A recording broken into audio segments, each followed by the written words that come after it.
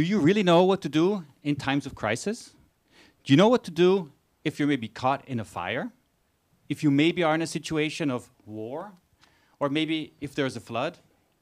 Well, definitely this is one of the reasons we're holding this webinar. But don't forget that we also want to help others. So this will be another very important topic we'll talk about because in the end, if you have the knowledge, you're less fearful and you'll be strong. So welcome to this webinar. My name is Thomas Binder.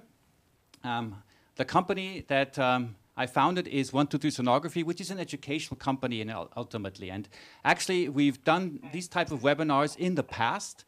Uh, two years ago, we sat here and we presented the topic of COVID-19. We have a very, very distinguished panel and speakers with us. Let me introduce you very shortly. To the left of me, I have Katrin Birnat, who is the CEO of 123 Sonography. And she also has a lot to say about self-defense, as you will hear later. And then, of course, we have um, Sascha Baumeister, who will then uh, be introduced in much more detail uh, when we come to his first talk. We've got Dr. Uh, Tal Kvaresh, who is um, also online. We will have him in the call, in the, in the talk a little bit later. To the right, we have Alexander Nürnberger, who is from the Medical University of Vienna. He is an expert in the field of emergency medicine, and he's also the one who coordinates uh, catastrophes um, in a tertiary center such as the Medical University of Vienna. Then we have to the left uh, Ben Thal, who is uh, also an emergency doctor. He works for the Austrian ambulance, so you have a lot to say about what you need to know in an acute situation. And then we have Gerold Porenta, who you'll hear later. He'll talk about radiation, a very important topic, especially uh, since uh, many of us maybe live in close vicinity to a nuclear power plant. But enough introduction. Let me just hand it over to Katrin quickly and uh, give her the word. Uh, thank you. Thanks, everybody, and we are really happy to host this webinar. Um, maybe in um, first to clarify some terms uh, for people who are not aware with all the terminology, you will hear the term Krav Maga a lot. Yeah. Uh, what does Krav Maga mean? It is an Israeli-based self-defense system with several pillars. Um, some are for private person and civilians. Others is security as, um, and police, and the third one is for military. Um, it was founded by Central Eastern European founder Emil Lichtenfels, uh, Lichtenfeld, who then emigrated to Israel in the Second World War and started teaching it from there. Yeah. And it is very modern um, system. The speakers we have today are coming from a global organization called Krav Global, which is one of the biggest entities with about 60 subsidiaries all, all over the world. Um, yeah, and uh, headed by Eyal, who was a direct um, pupil of Imi. Um, and at this point, I'm very happy to introduce our first speaker already, Sascha Baumeister. Um, he is an entrepreneur in the field of uh, private security with several um, years of international experience. And he's also a KMG, Krav Global self-defense instructor with four schools in Germany, yeah, training civilians as well as public authorities and security companies. Um, additionally, he's also on the board of German directors, um, and he's an expert three, which is something like a very high black level, uh, black belt. Sorry. Hi, Sascha. Happy to have you here. Uh, just uh, before we uh, get going, I need to give you a little bit of instructions because you can actually ask questions. So please, please ask questions. We will try to answer them. So we will have, of course, keynotes presentations, but we'll also have uh, a discussion, a very lively discussions with questions that you might have. And one last thing before we get going, this webinar is, of course, with Krav Maga experts and with medical experts, but it is for everyone. It's for everyone out there who definitely needs to know more or wants to know more about uh, the issues of civil defense. Okay, let's get going. Hello? You hear me? Hi, Sascha, we hear you well. Yeah, perfect. Yeah, thank you for the invitation and also for the friendly introduction. I also want to say sorry in beginning for my bumpy English because of uh, two years staying in Germany and having not so much contact to the other people in the world. Never mind, we've heard actually that the German accent uh, sounds really nice. So go ahead. Okay, okay, I uh, already start my um, presentation, yes? Yes. Yes, please.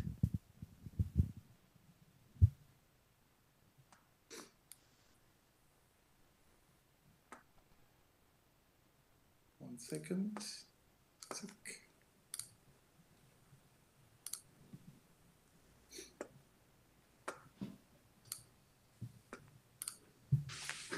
So you hear it or you see it, especially? Okay.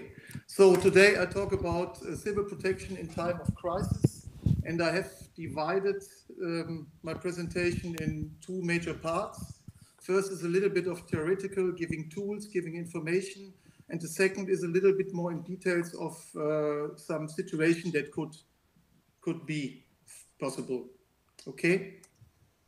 So I start with the, from my point of view, biggest or a very big um, issue is the mindset.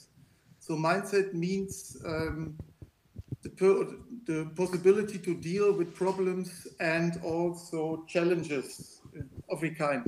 Must, must be some some uh, dangerous stuff. Could also be the problems in life. Yes, and uh, security Um, sorry again, you hear me because I get a question now. Uh, you can hear me all? Yeah, yeah, all is good. We can hear you we very can hear you. clearly. Okay, okay, perfect. Okay, security is a matter of attitude and the question of using the right tools. And this is what I want to give to you now. So, talking about tools. And first of all, the tools is the situational awareness.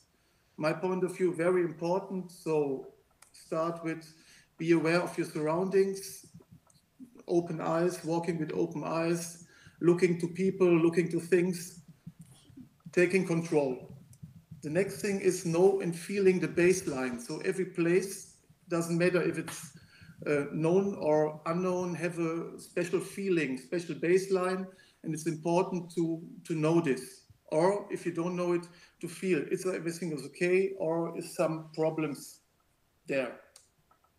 And third, and yeah, well, last but not least, trust your instinct. Uh, in the, the last years, I think we we lost the, the feeling and the trusting in the instincts, and we have to get a little bit more trust in this. So instinct can save lives.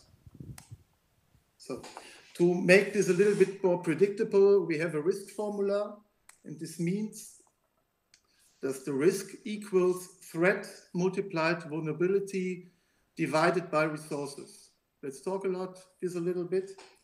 Um, we have influence on two of this stuff, with the vulnerability and the resources.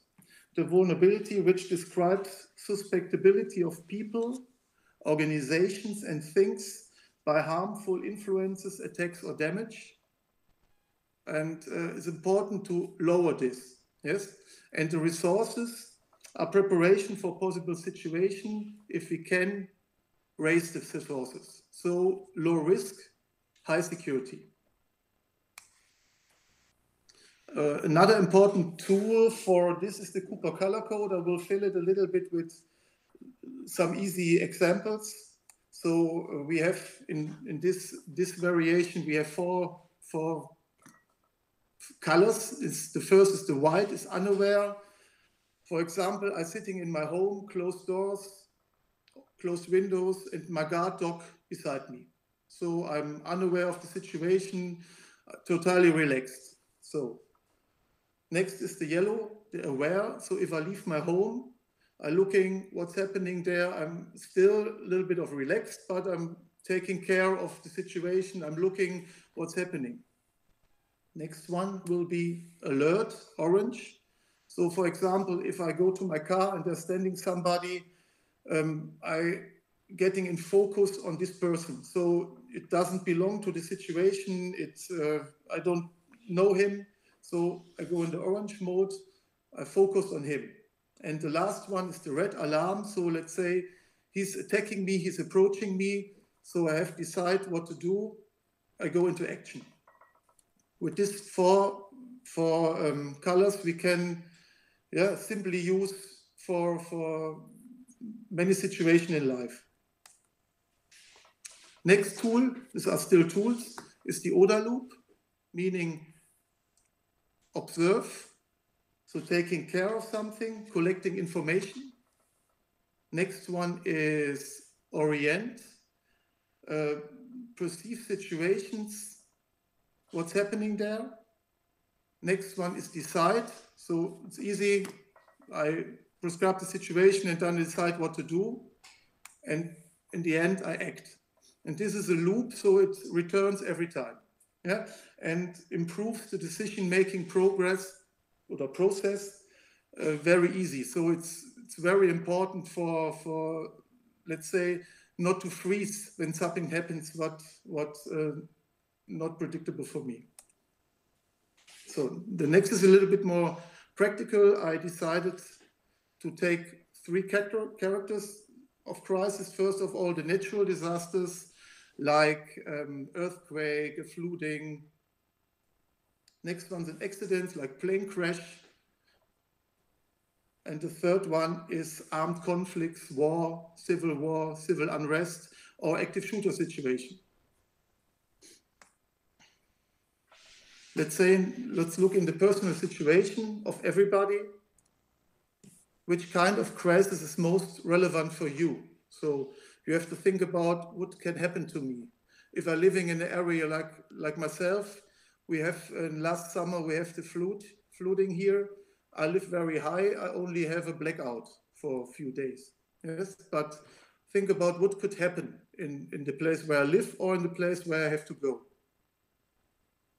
And when you have some points to consider, create a plan and a checklist for time of crisis, meaning in advance, before, not in the moment. When when I when something happens to me and I didn't uh, thought this could happen, it's very very hard to to um, go with this. Good. And uh, in in the description of the webinar, we say you get 10 points from me. Now the 10 points. First of all, important documents. So meaning certificate of birth, something about your house, something about the wedding, something about uh, the cast, have a hard copy and also the information of a USB stick.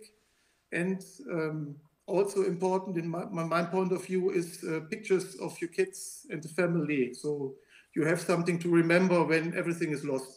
Okay? Next one, if you have to stay at home, doesn't there are situations where you have to stay at home and situations where you have to go.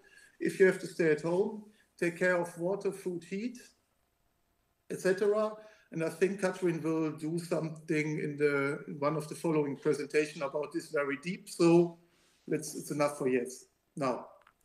And if you have evacuate from home, so you leave your home, um, you already have the checklist. Uh, take care of your car in advance. So let's say an, a half full tank, it's an empty tank.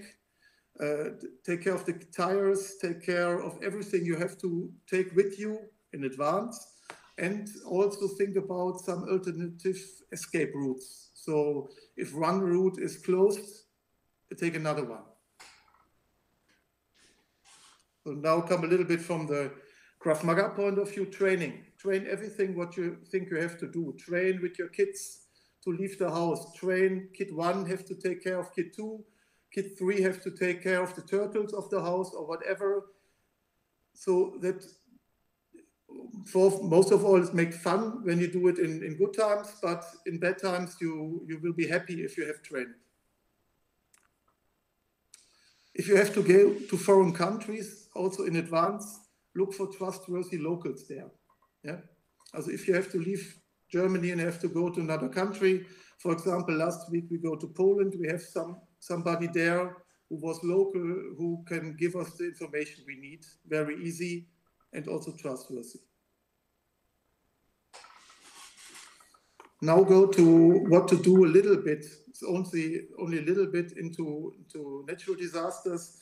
Um, I want to say now first is um, the internet is an awesome source of information. So you can in, find in the um, uh, Ministry of Foreign Affairs or civil protection agencies, you get very good information what to do. I'm collecting a little bit like an earthquake. If you have to leave the building only when it's safe outside. So nothing can fall down on you, then you can leave the building. Yeah. If if it's not possible to leave the building, you have to stay in there, stay under door frames or solid tables, for example, so that also nothing can fall on you. Flooding is another one what happened. It's relevant for me, so I take it. Flooding, it's do not enter basements, very dangerous, and also underground car parks are very dangerous. We have some um, losses here in my area for people that went into the, the basements, yes, in the summer time. Next one is plane crash. In case of a plane crash, uh, the first part of this right closing is uh, what you couldn't do in advance, but you can everything and do in advance. Plate closing means wearing long, long trousers, solid shoes, long sleeve like shirts, yeah, to protect the body. If it's cotton, it's also not so fast burning than other, and it's giving you heat when you have to go in the go outside. Sitting close to the corridor and also close to the emergency exit improves and raises the possibility to survive a plane crash. Okay. And this also more or less important for every situation, stay calm and considered. Try to stay calm, breathing, try to stay considered. Next one, active shooter, so time of war. Now I take the active shooter situation.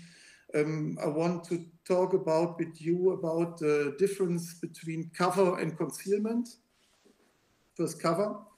The engine side of a car is a truck is a, of, a, of a car is a cover and also in concealment. If you go to the trunk side of the car, it's only concealment. So first of all, engine side of car, you're a little bit protected from, from let's say, bullets and also not seen from the, the attacker, the active shooter.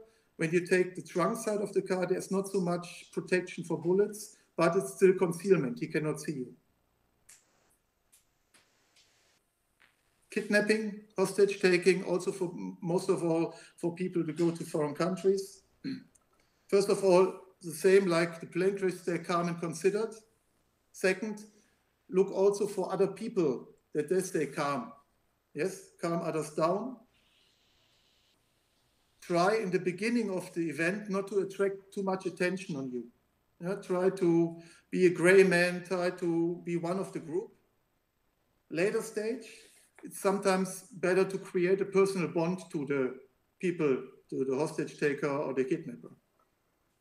It could help for the later part of the event.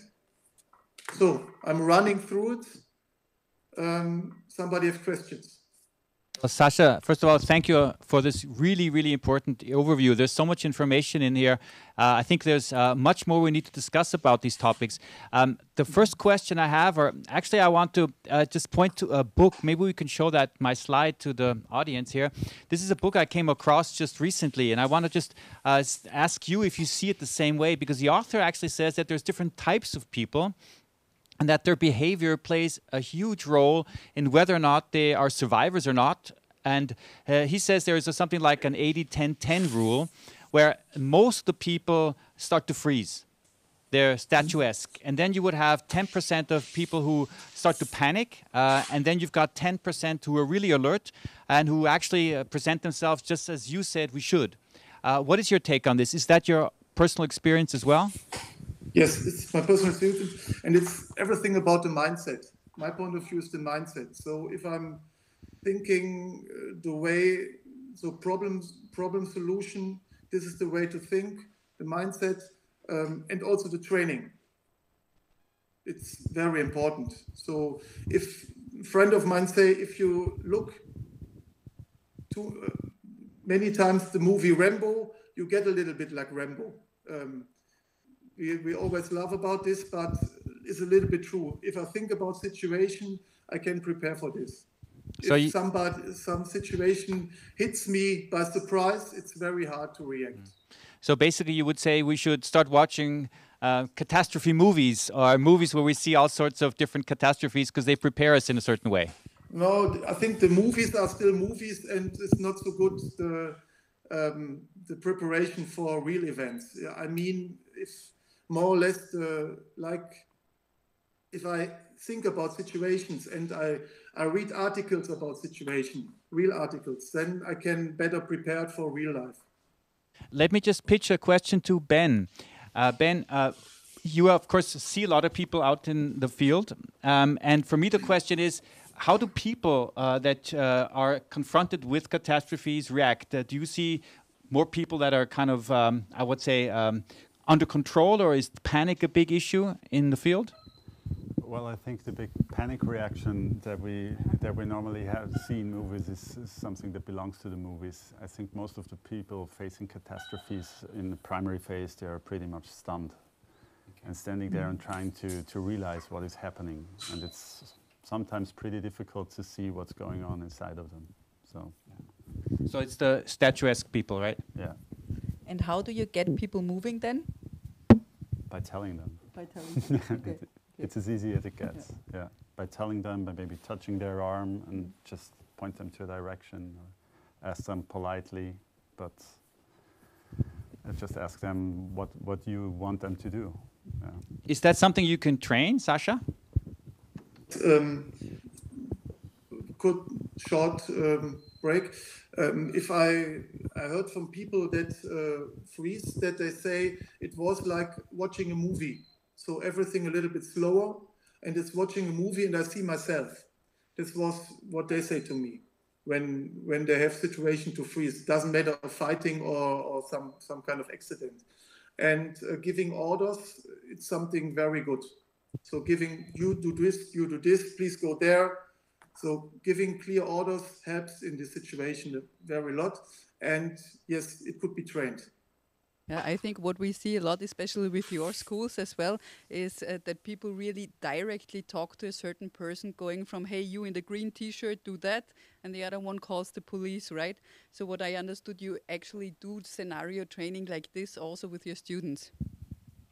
Simulations is a very, very big topic to, to train. So, from, from start with principles or with techniques, then go to principles and put this in some kind of real life situation as close as possible to, to real life. So with safe, safe environment, but close to it.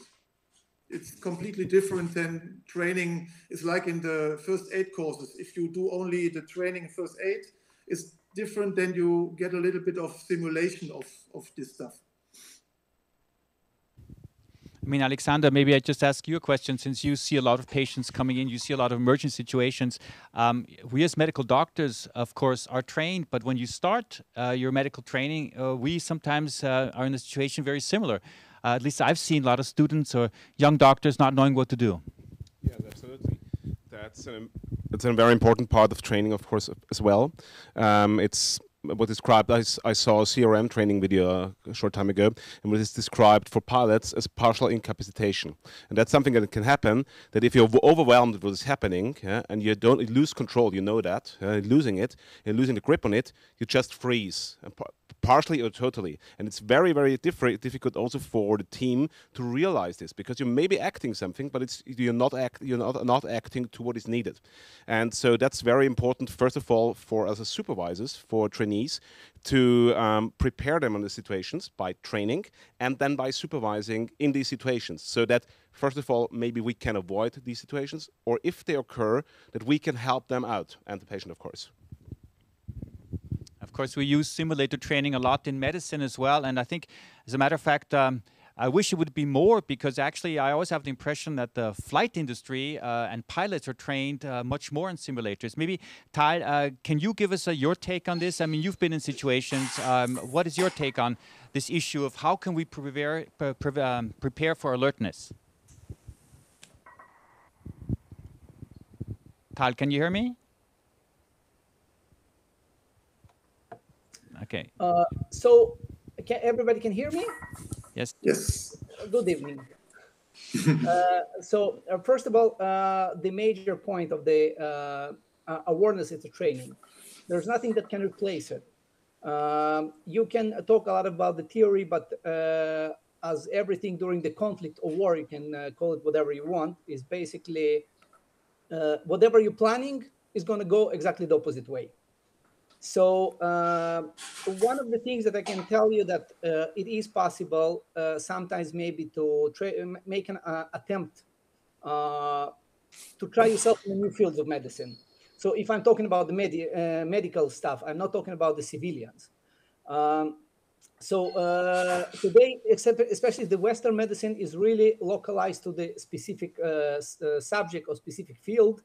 And then it happened the situation when the war is coming, the doctors actually being asked to do things which they, for years, maybe never, never practiced or never practiced at all.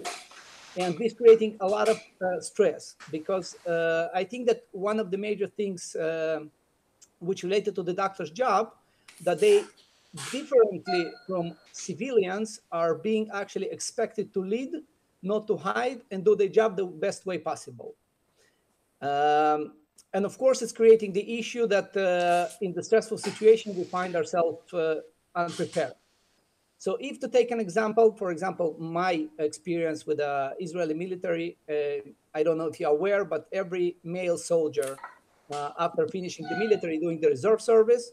And in the moment he becomes a medical doctor, immediately integrated into the military as a part of the medical corps. And performing basically the training and the preparation for uh, conflict activity about 30 to 45 days a year.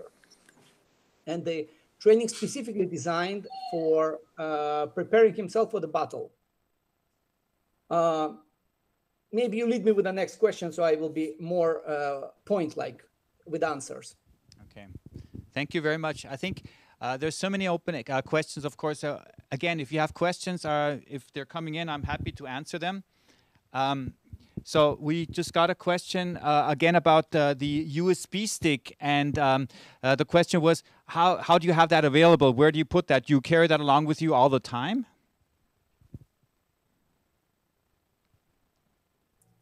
Uh, I guess you're muted. Yes. So yeah. Now, yes, I have it with me. Yeah.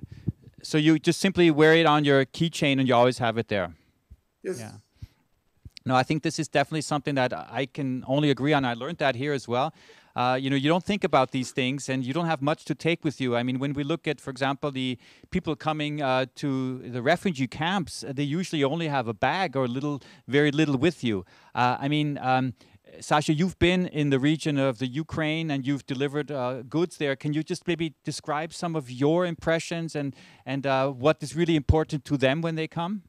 Yeah, um, not so much because uh, we have uh, before we have contact with trustworthy locals and from from Ukraine and giving the stuff to them and they brought it. So we don't have too much contact with um, refugees there.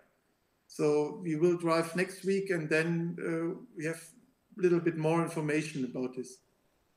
So Maybe. at the moment, it's very hard. They, are, they have some kind of uh, refugee camps on the Polish border, and from there they send it to different countries.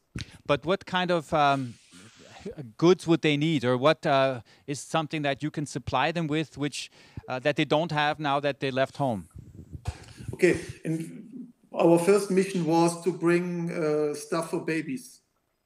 So this uh, this goes to in the Ukraine in uh, child hospital hospitals. So this is what we delivered first, and the second will be medical stuff for the soldiers.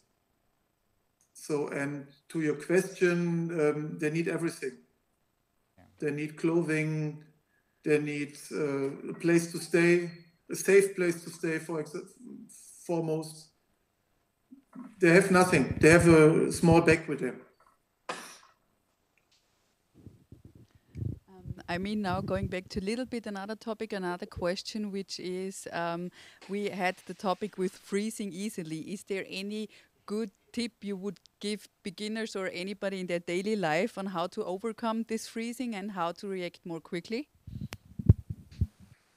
Uh, it's, it's, it's, a very different or difficult question, but um, I have the experience that if you do something, if you, also for freezing, for example, we already heard it, it's not freezing and standing like this. Freezing could be a loop that somebody repeat a specific move every time. Yeah, he walks, he's still walking, he's still speaking. And um, for, for others, it's, it's a little bit easier to get him out there for myself if I do two moves, two moves, it could be possible to, to break the freezing. So like, it's still training, it's still in the training. Uh, one final question, which always comes to my mind, and I think uh, you've heard situations um, where there's a mass panic. Um, I just looked up in the internet. The largest mass panic you must imagine was actually during the Second World War in China, where there was an air raid and uh, people were in a shelter, and um, the air raid was over, and they ran out. But then the sirens again uh, were on, and the people tried to get back in and th there was about 4,000 people killed. So uh, these situations do happen, and um, you have your experiences on how this can be prevented, or what should we know about this? It's it's very difficult, and it's um, all in the in the end. It's trusting your instincts. So um, I heard today. I heard something in the radio from from 9/11 that uh, the people were told to stay in the in the in the towers to stay where they are and uh, some of the people trust their instinct and leave and this is the most of them still living so it's it's hard to say but it's it's much of instinct but I guess the bottom line is try to avoid uh, such situations where you see lots of masses together. And I would assume that there are special plans for organizers that uh, try to avoid and have uh, flight routes so that it just doesn't occur in the first place, right? Yes, of course. You have to to to make plans, but like told say before, um, every plan um, getting problems when you have uh, first contact with the enemy. So to to make uh, places big enough to take care of uh, signs that people see where they have to go. Um, but also every emergency have different rules. So if I have some places where people could collect when there's a fire. So we have an outside mm, security area or meeting room for them. If this is active shooter event, it's very hard because the people don't have to go there where the active shooter could be. So it's it's every situation is different. Uh, yeah, many thanks for your inputs. Um, um, yeah, and uh, also for your insights. And uh, there will be certainly within this uh, live stream also even more questions to come. Um, yeah, and I'm also happy to contribute a little bit to this topic myself, um, because basically um, at uh, Krav Maga Academy we are also frequently uh, asked on how to prepare for crisis at home in a safe region, and also what to store. So to start off, there's just a small game or thought for you. You can also comment, uh, which is when you think of storing for crisis, yeah, um, what comes to your mind? What do you want to have in your basement or somewhere in in a room you uh, consider as a um, safe place? I guess you can post in your chat, right? You can post in a chat, but uh, maybe also the experts can give one or two hints. Just one word. A bag a suitable bag for a long traveling. Okay. Small words. Sorry. Water. What? And you? Well, if I observe what is happening, toilet paper. yeah. Okay. Uh, well, uh, those are good guesses, and uh, some are really uh, covering the most important topics. Um, can I get the presentation? Yeah, sorry. Hmm. Yeah, this is definitely something that is, um, you know, on the mind of everyone. It's always the question: What should you have at home? Uh, so I'm really, really curious to find out what um, what it actually is. So I'll just hand over the presentation now to Katrin. Great. Um, actually, uh, what we tend to apply is the rule of three, um, which is smart priority setting in when it comes to uh, stay safe and also to stock up things. Yeah? Um, basically, it says you can live three seconds without attention. This is what Sascha was enforce uh, was um, uh, uh, not enforcing was mentioning, mentioning uh, with an intensity, for instance, with the Cooper color code. So basically, to stay safe, an easy way to stay safe in the first place in any kind of uh, situation is don't be a zombie. Uh, be aware of your surrounding. the second thing is three minutes without oxygen. Um, then you can survive approximately three hours under extreme conditions such as cold or heat. Um, we're really talking about extreme conditions there. Um, Yeah. And then there's three days without water and approximately three weeks without food. Um, when we um, look into some answers that we got before when you raised that question, food was mentioned very high. In the end, it is not the super first priority also to have at home. What you're seeing now is kind of a preparation pyramid. In general, we would really recommend to have everything at home, and I'm pretty sure the experts will also add to this. Yeah, uh, but if you come to stock up, um, I don't know if you don't have the budget or don't have the time, you need to stock up now. Uh, the suggestion and the priorities are in a form of pyramid. First thing that has already been mentioned was, of course, water because three days without water are critical. Um, there's two liters plus one suggested per person per day. Um, two liters means two, two, for drinking and one for um, daily hygiene, and also water purification. Then including relevant medication, painkillers, uh, and whatever you need. Um, additionally to a well-prepared and cleaned up first aid kit for at home, um, a blanket, a multi-tool including a knife or a knife including a multi-tool. And uh, also very important, what you've heard before, was an emergency radio, which is mainly or most of the time a crank radio um, with light, USB connection, if possible, and a solar panel, because uh, it's really emerging. It's really important to uh, be able to communicate and get some information in cases of emergency. And when you're thinking of uh, stocking up a bag, uh, a flight bag, um, or not only a flight bag, a, a, bag you can carry away, these are the must-haves in this bag as well, maybe in a different form. Yeah? Um, uh, maybe you can then also add on what is appropriate first aid in a, um, in this bag. Yeah. Thank you. Thank you. Uh, and only second, but also equally important, of course, is food. If you ask me personally, food would go very high, but not everybody sees it the same way. Yeah. Uh, maybe also a small gas cooker, which can also help you to purify water as well, and products for daily hygiene, including waste bags. Uh, then on another, uh, on the third level, you what has been mentioned before. Also at home, you should have your hard copies and your, your USB and all USB on a USB stick, and also a little bit of cash. Yeah, ideally you do it, you pack it in the bag, and you have it at home. Uh, some additional candy, candles, also a fire extinguisher. I'm talking about a second fire extinguisher here, yeah, not your primary one for your house, and anything for radiation um, protection and gas masks, but uh, the experts will certainly add here.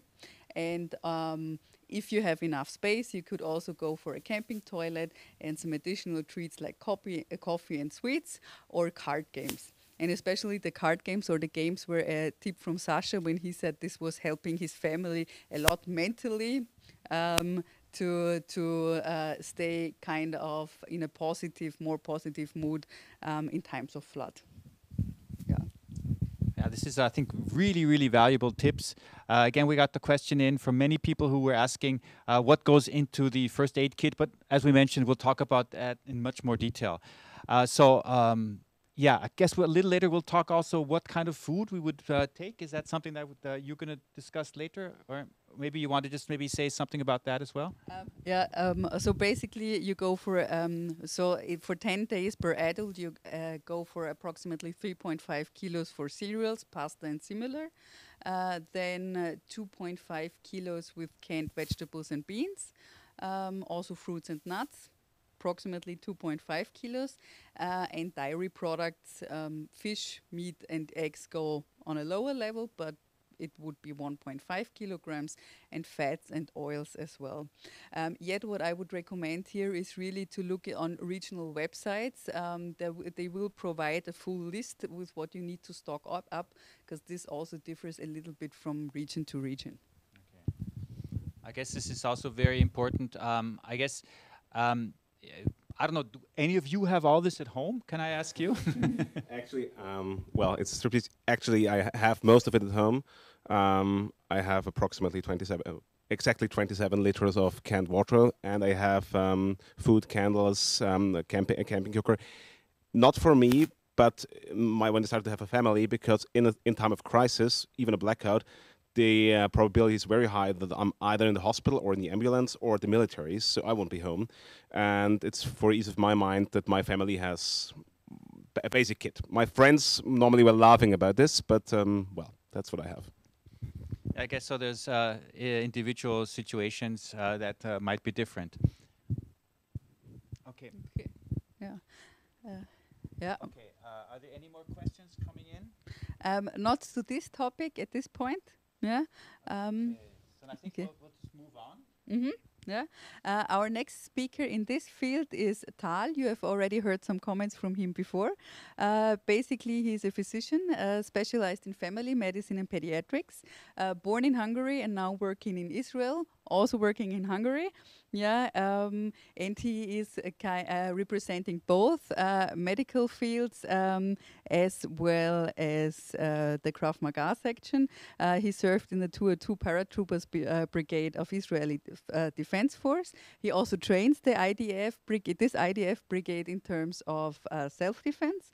And in Krav Maga, he's an expert level four, which is also a very, very high black uh, belt referred to other systems. And on top of this, he also has a black belt in Brazilian Jiu Jitsu. Many thanks, Tal. I think you're still muted. Okay.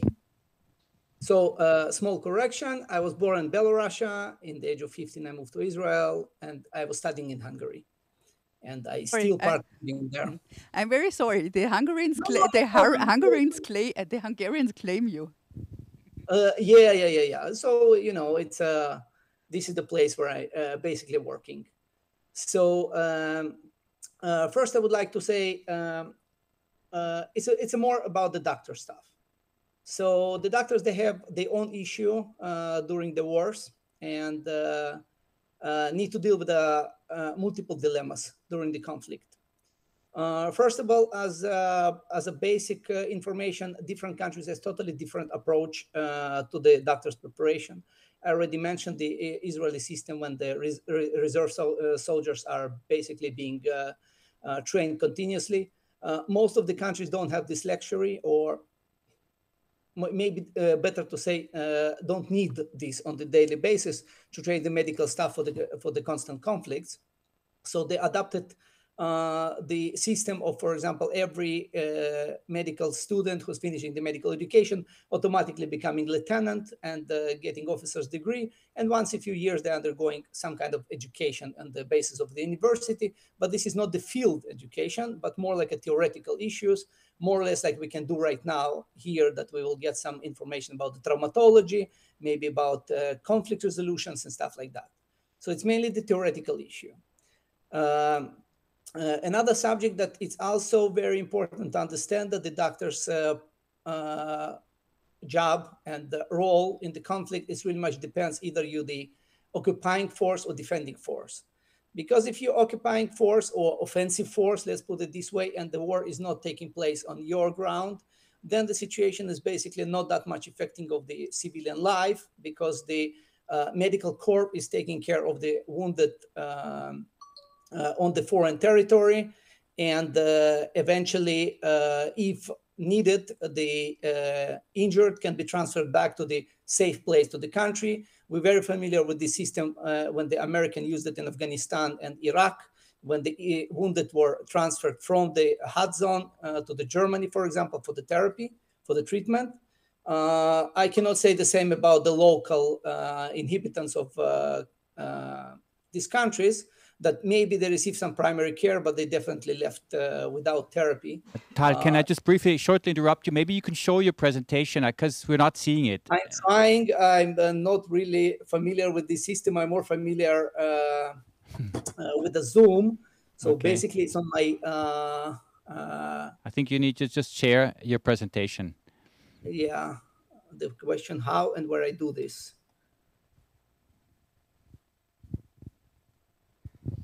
Yeah. How should you? Uh, there's a there's a button that it says uh, share presentations, basically. Uh, sorry for the technical problems. No problem. Uh, I trying to share my entire screen, but uh, you still can see only me. Uh, Yeah, a- your computer might slow down while running do you see something on my screen? Uh, we see you wonderfully. Uh, which is uh, not a bad news as well. But uh, um, so I try to speak uh, Okay. because uh, uh, uh, I don't want to uh, spend time on this. And anyway, I will go more with the text. Okay. Uh, you can uh, get the presentation maybe later. They, it can be distributed unless we solve this problem somehow in the next few minutes. Uh, so uh, uh, I will uh, go back to these uh, medical issues which related more to the offensive or defensive force. So the in the offensive force, uh, uh, civilian doctors, and I guess most of us are uh, those people. They're not really playing a major role in the conflict. Yes, some of them will be recruited by the military.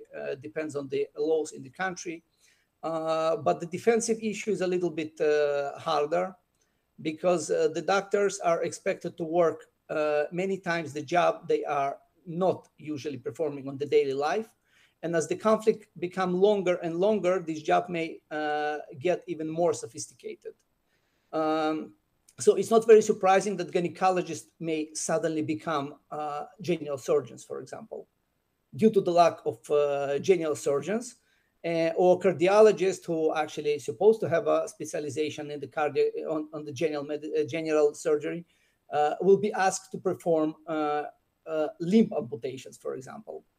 So um, uh, this is one of the issues. Now, uh, the general idea is basically when we're talking about the safety, uh, probably everybody will expect me to speak about physical safety as a major factor, but uh, the point is that I don't think that this is the major point during the conflict. I think that it's basically mental, emotional, and physical safety that must be considered in this situation. And uh, doctors may deal with uh, different uh, problems during the wartime. So the simplest of them is, of course, what I already mentioned. It's dealing with a problem they're not familiar with before. Uh, that, uh, for example, the uh, family physician on the internal medicine physician may find themselves actually as a primary respond- responders. So they actually need to work uh, not in the hospital, but on the uh, hot areas, evacuating the people and uh, recognizing what exactly the point of the so-called triage. I guess most of us uh, know what does it mean, the triage. Uh, that it's basically distributing the wounded according to the severity. And uh, it can be distributed to the red, yellow, green, or black. Uh, we can more or less understand that the black it's uh, dead, and uh, not that much can be done to help them in general. But the red, it's actually the people that in the imminent danger. Yellow, it's intermediate degree injuries, and the green, is basically the uh, the uh, people that uh, have minor wounds and basically can be in some cases even used as assisting personnel on the scene. Uh, there's a very general uh, principle that they teaching in the military uh, it's not absolute. But if they if if when you're arriving to the scene the injured is still yelling he's not the red. He's yellow the first attention to those who are quiet which means that probably these people are severely injured and they cannot make voices anymore. So they must get the first uh, attention. Also, the red, uh, yellow, uh, um, green, and the black, it's also related to the uh, urgency of transportation. So not only on the severity of the injuries, but also on the urgency of transportation. Uh, many of us not even familiar with this. Uh, uh, some of us familiar uh, in this from work in the hospital, in the ERs or in the clinics, but the triage is totally different because the problems are not the same. So you, definitely working in the ER, it means more like uh, heart diseases first priority than somebody just has some pneumonia. It's a yellow basically, but it's not the same in the in the time of war. The injuries are more severe. The casualties are multi casualties in many cases you find yourself with assisting personnel which is not precisely trained for these events and in many cases you even need to take uh, decisions which are usually you're not asked to do uh, as i mentioned before the western medicine is sorry to, inter- sorry to interrupt you shortly. We have the presentation here, so I'm trying to show it. Uh, can you just Oh. tell me on which slide you are on now? uh, i'm still on the first one okay.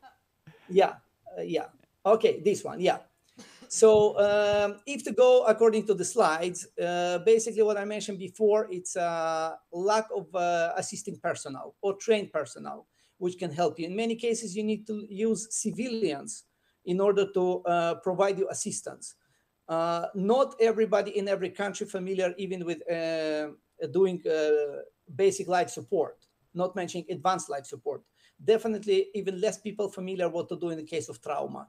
So you're becoming a leader from one point of view, this uh, creating uh, the emotional stress on you, and this is the emotional safety that I was talking about.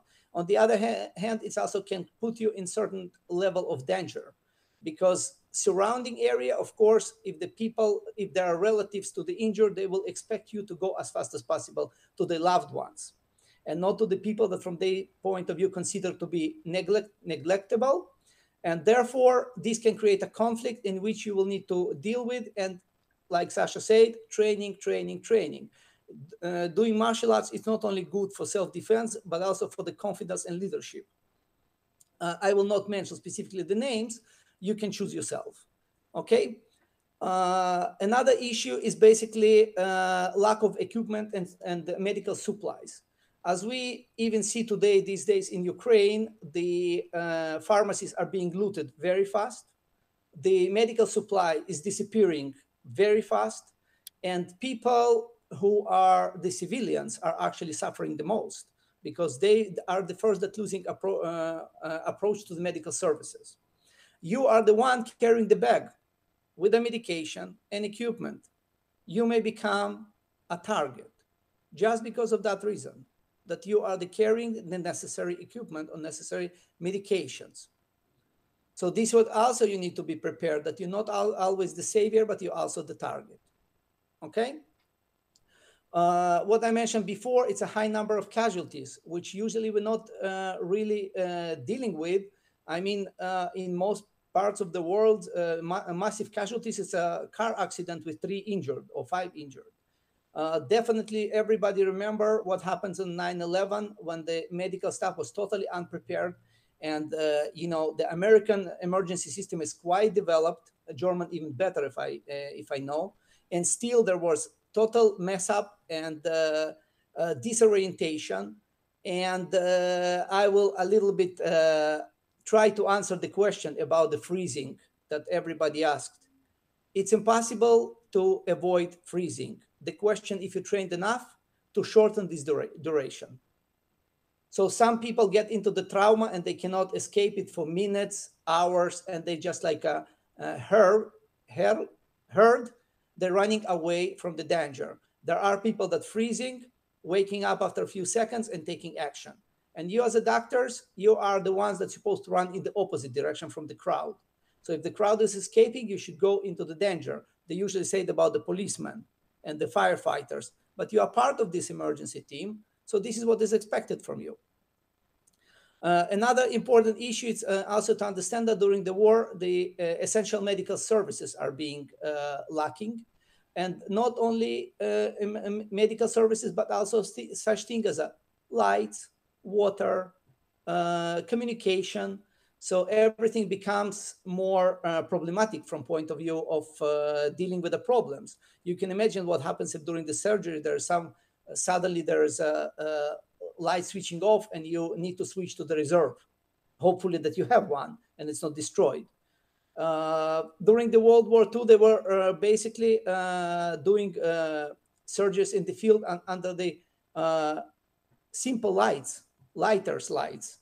So again, I'm already taking it to maybe very deep. It must be a really prolonged conflict in order these things to happen. Uh, another thing that you may deal with is basically the lack of hygiene and lack of sleep.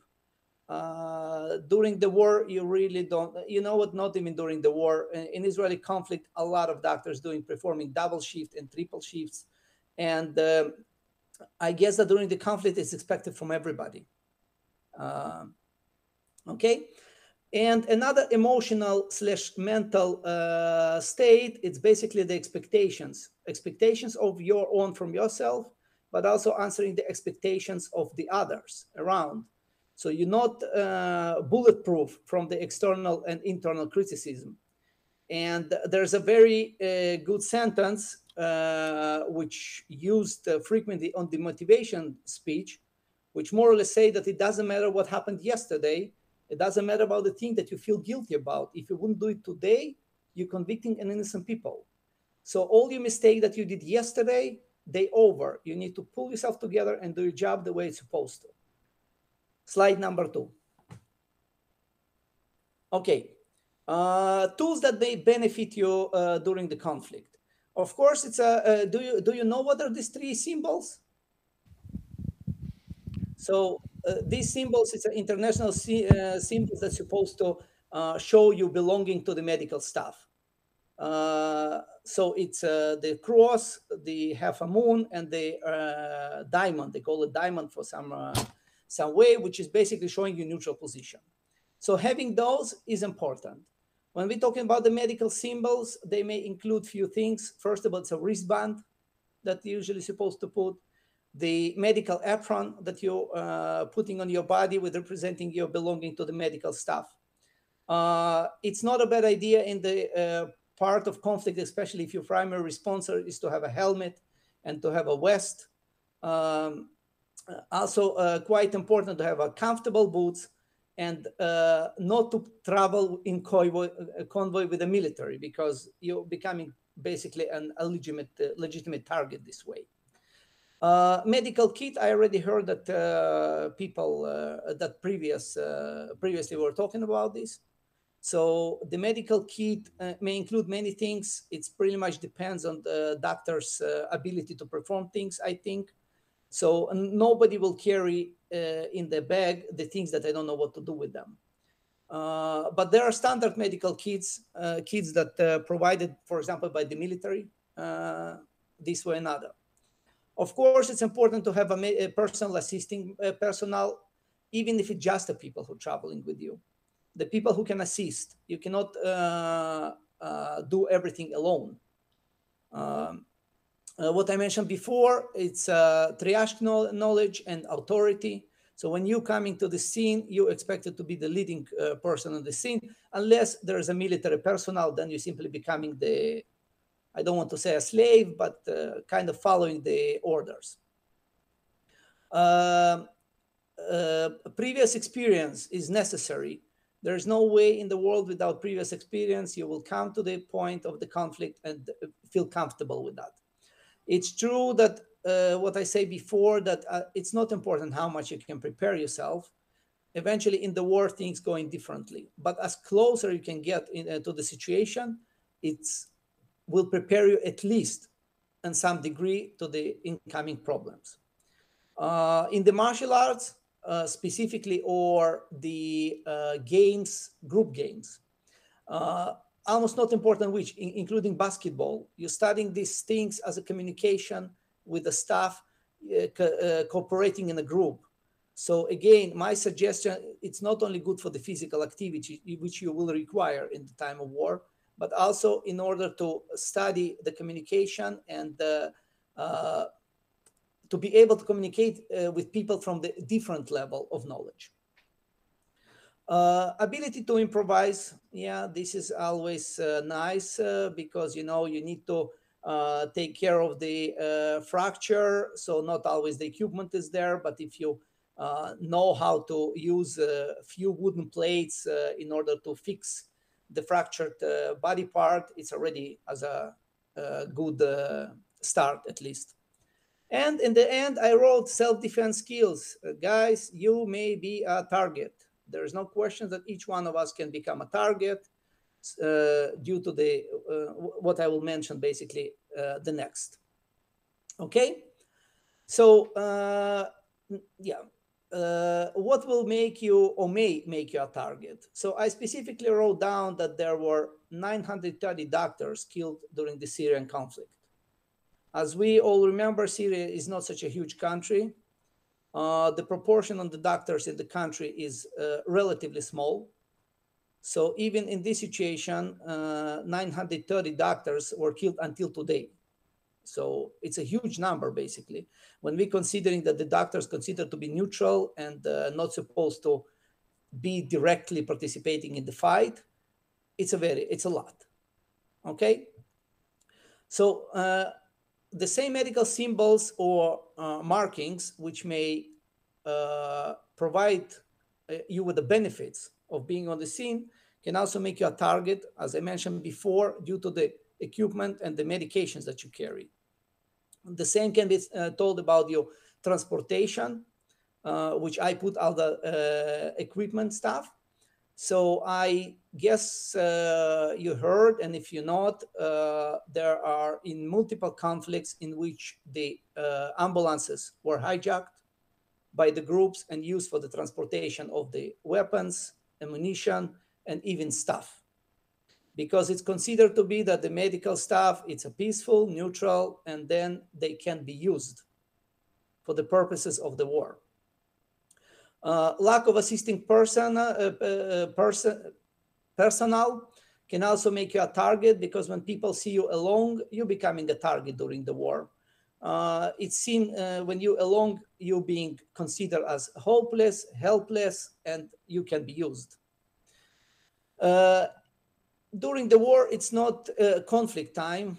In many cases, it's not important how correct you are not. It's more, uh, uh, it's more what you're showing to the surrounding. You still may be the best solution and the best uh, chance for people to survive. So the authority is necessary. On the other hand, if you're doing too much authority, you may challenge others. So be uh, you need to find a certain um, uh, level in which you do use the authority, but you're not over authorizing yourself, not putting yourself on the position of God and Savior, but working in communication with others uh, in order to diminish uh, the pressure which may be put on you. Uh, lack of triage knowledge. This is more like uh, becoming a target. Uh, so uh, what I told you that this decision must be must be taken during the conflict. Your inability to take decisions may be seen as a weakness, and you may become a target. Uh, uh, as you could see probably in the Ukrainian conflict, uh, hospitals is not a safe spot anymore. So they can become a target. They can be taken as a hostage, hostages, as it's happened now in Mariupol when 400 people slash medical staff is being uh, held as a hostages uh, by the Russian forces, or at least this is the information we what we hear. I cannot really confirm this because I'm not there. Um, uh, sorry, just uh, just uh, quickly. Um, at this point, we received a question that might be suitable here, yeah. um, and, and, it has been asked, um, as you mentioned, the medical symbols might make you a target. Um, does it make sense in this context to hide those symbols? when does it make sense to hide these symbols? Uh, if you're traveling alone and better to hide these symbols if it's possible but if you're working in the convoy of the of the primary responders it's better to have them on. So this will my question. If you if you're traveling in the limited group limited group which cannot really uh, deal with the external threats it's better not to have those. It may automatically make you a target uh, many thanks. Many thanks. Maybe we continue now, um, as in order not to run out of time. Yeah. Okay. Uh, I'm ready for questions because it's really uh, left only uh, some uh, few slides, but uh, I'm ready to questions if somebody has. Just and if not, continue. A question from my side.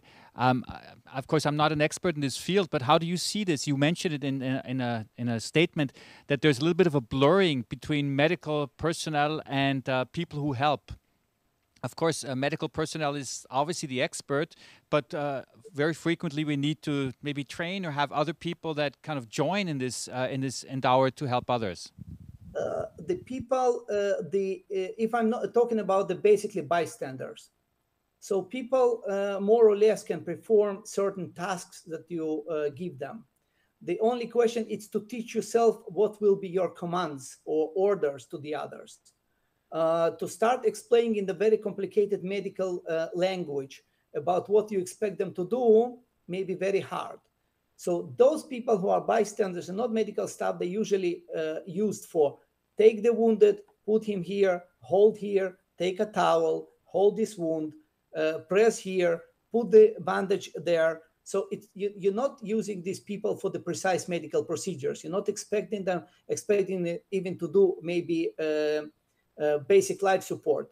But those are people who can use uh, the minimal knowledge if you give them the correct orders, if it's answering your question. No, I think this is a definitely important point. Um, maybe I, I can just uh, uh, show you one slide that I would like you to answer. I mean, of course, it's not Mm-hmm. necessarily now only related to um, medical doctors, but to soldiers in general. This is something I came across, which was a little bit shocking, um, Mm-hmm. and uh, that was uh, the issue of uh, the U.S. military um, has more victims of suicide since the 9/11 um, episode than actually people dying during military operations. So this this comes again to this whole issue of um, of stress. Is this something that um, you know you can relate to, or is this something which is a little bit overblown? Yeah, this is what is basically I mentioned that uh, my point of safety, that this is basically the issue. The physical safety is a minor point of it.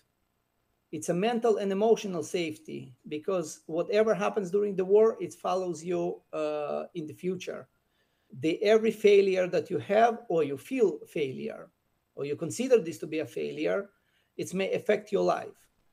So uh, people who've been in the conflict, uh, first of all, it's different in many uh, cases to assimilate uh, to the uh, civilian life. Uh, one of the things that uh, we actually can see this uh, not only in the Israeli mili- uh, American military, but also in the Israeli military. The soldiers who participated in the operation and consider themselves as a very useful and important during the wars when they come into the civilian life they're losing this importance in the eyes of the society and this affecting them on the way that they cannot adjust so basically the adjustment disorder and post-traumatic stress disorder is totally underdiagnosed especially due to the reason that all these military people uh, i guess that if you can if you will go deeper into the statistics you will see that a relatively high percent of those who committing suicide it's actually fighting stuff maybe not the uh, actually the staff on the front lines because uh, they they are the one that under the tremendous stress but they are totally being unappreciated uh, in the time of uh, when they coming back and another thing that it's simple thing that they saw so many things that they having continuous flashbacks on the other hand these people consider to be themselves to be uh, emotionally sick emotionally uh, strong physically strong, so they very rarely going to the to help.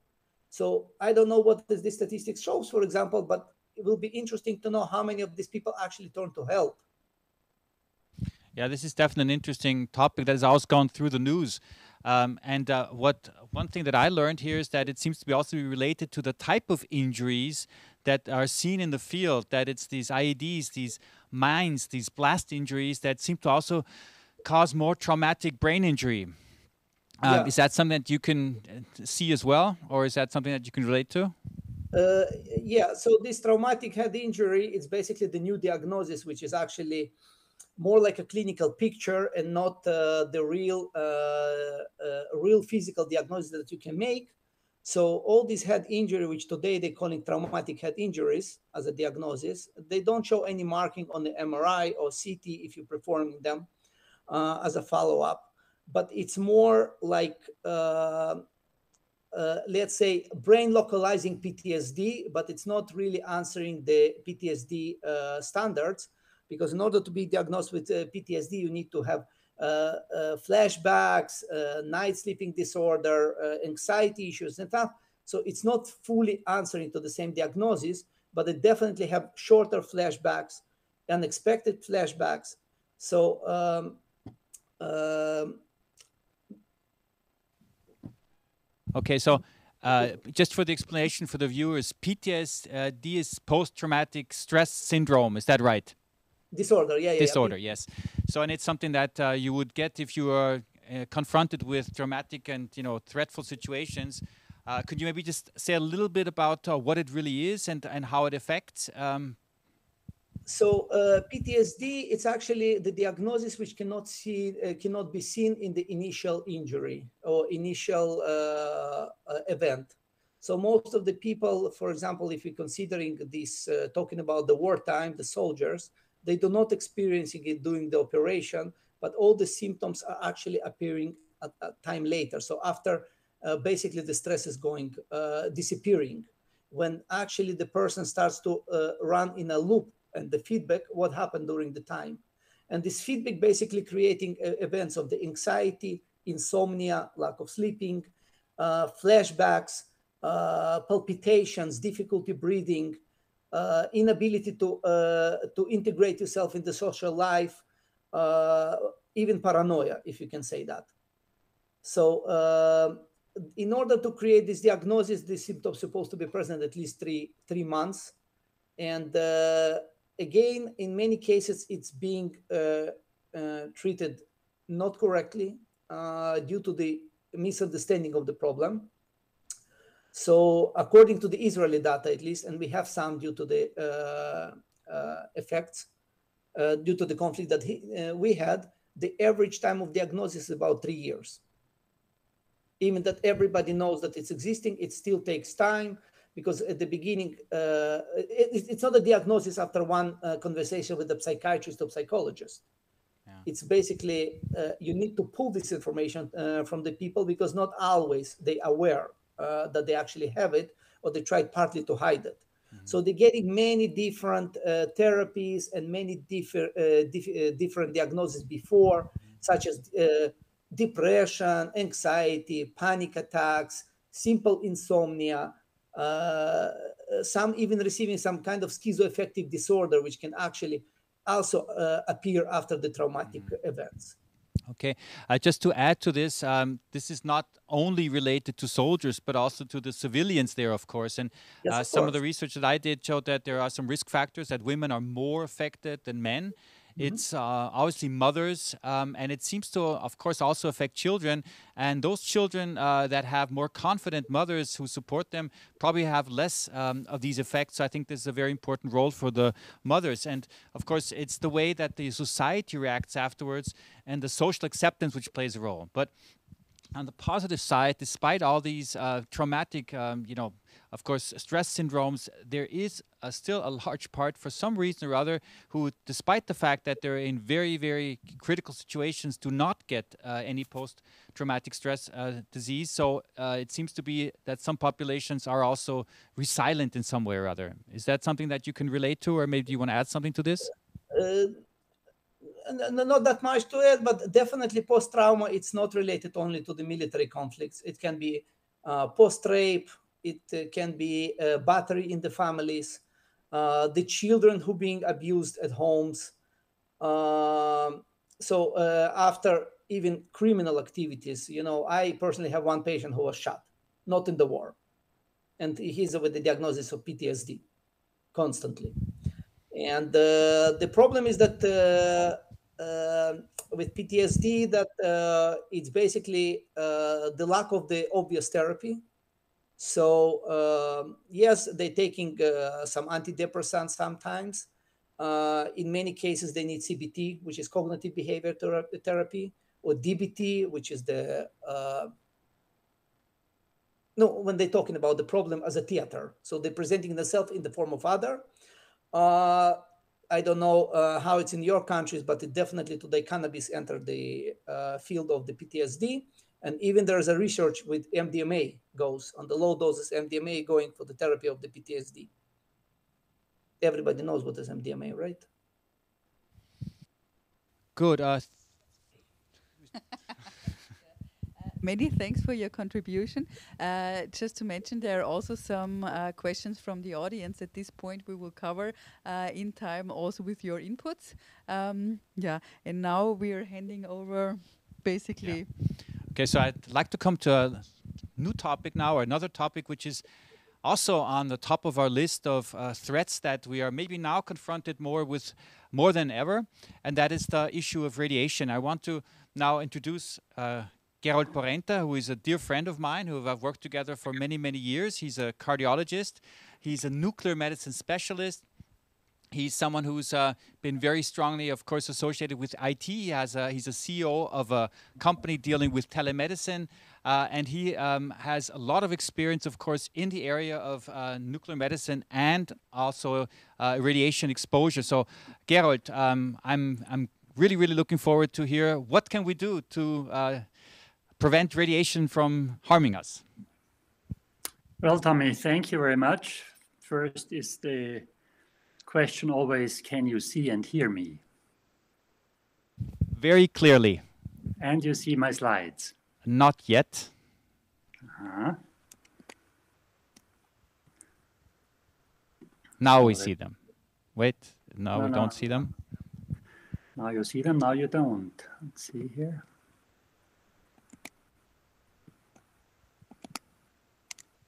Yes, Here we go. yes. All right. Well, Tommy, thank you for inviting me to give this lecture. It was a bit unexpected, but my task today will be to talk about this accidental radiation exposure, uh, medical implications, and learning from the past. So I would like to start to give you a little bit of background again so to understand what radiation really is. Um, probably not all of you are aware of all the stuff that I'm showing you. Um, radiation, uh, the concept has been described about 100 years ago when they looked into some elements and they found that they emit some sort of stuff. And then they looked what sort of stuff was coming out of these elements and they saw it could either be a particle or it could be just energy coming out of the nucleus of an atom. And then uh, they said, well, let's talk about these different types of radiation. And for lack of knowing what they did, they said alpha, beta, gamma. Now, the alpha radiation is uh, a particulate radiation. You see it on the top right, where out of the nucleus is emitted a helium nucleus, uh, and that travels along and then does some damage when it gets deposited. The beta radiation is a particulate radiation. Uh, what could happen in a unstable nucleus is that a neutron uh, decomposes into a proton and an electron, and the electron gets kicked out of the nucleus and then also travels for some uh, distance until it affects the surrounding tissue. And the gamma radiation is just pure energy coming out of the nucleus. That's the same thing as uh, X-ray or also uh, light. But if it's a, the high energy, we call it gamma radiation. Um, all of these radiations that you see here um, are ionizing. That means if the radiation occurs, it goes into the tissue uh, where it has the effect and creates ions. Of course, there's also non-ionizing radiation, and that radiation would be radio frequencies or light or uh, UV uh, light.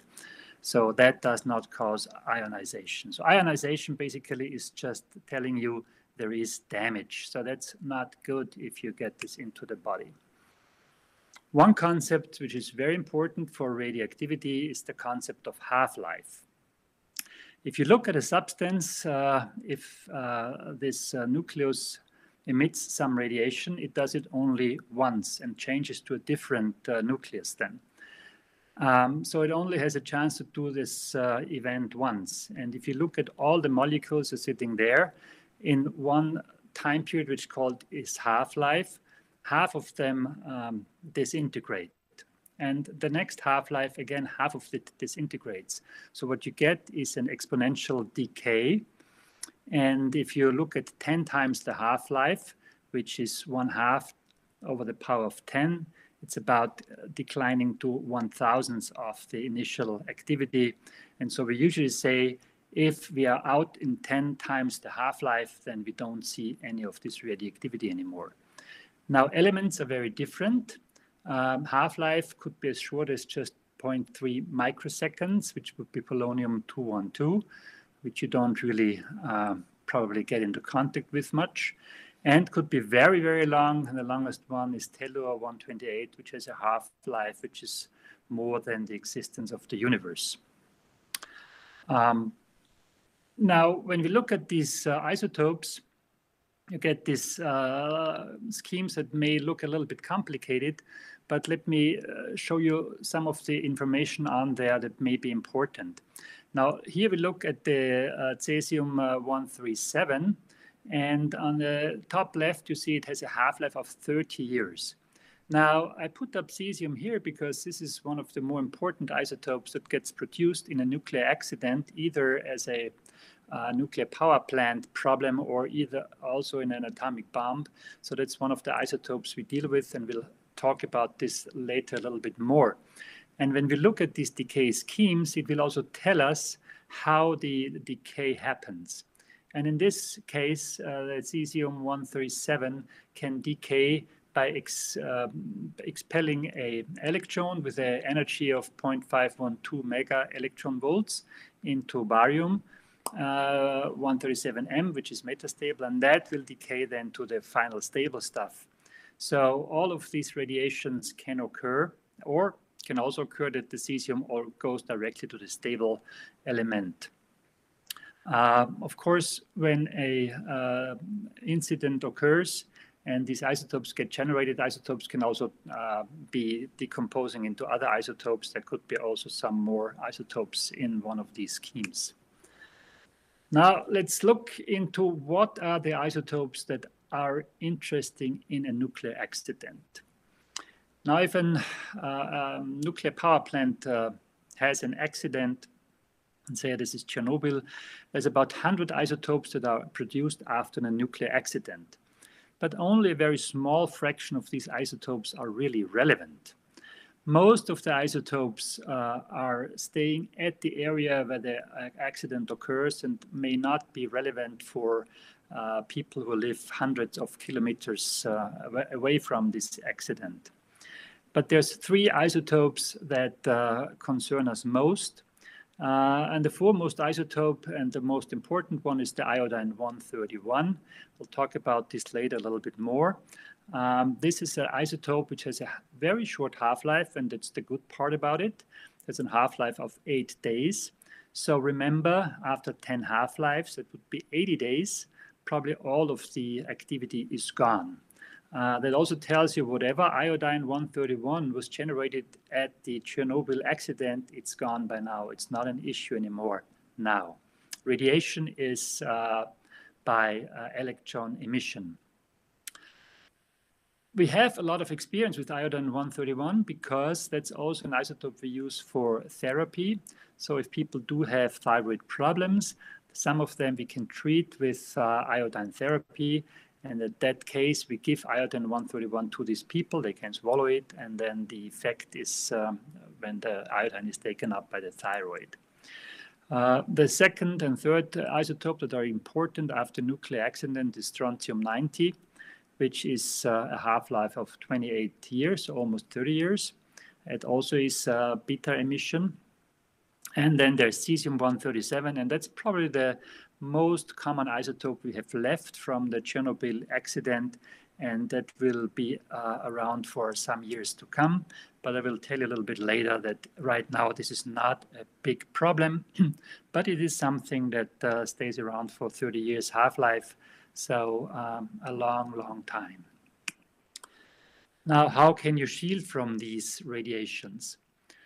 Uh, alpha radiation, it's very easy to shield yourself from it. It's just a sheet of paper. It cannot pass through it. Uh, that's the good part. The bad part is if you have an alpha emitting agent and it's in your tissue, uh, that carries a lot of energy and it can make a lot of damage. So alpha radiation has a lot of damage. Uh, we use some of alpha radiation active isotopes in uh, therapy, but not very many. Now the beta radiation, and you've seen just before, this would be the iodine 131 or the cesium. Uh, you can shield with a sheet of aluminum, and uh, that will take care of it. Uh, and then there's the gamma radiation, and that's the radiation which is pure energy. It's not particulate, but that can go through um, all kinds of substances, also concrete and lead, and it only depends on how much energy the gamma ray has, and it's much more difficult to protect from. Now, what sort of tissue damage can occur by radiation?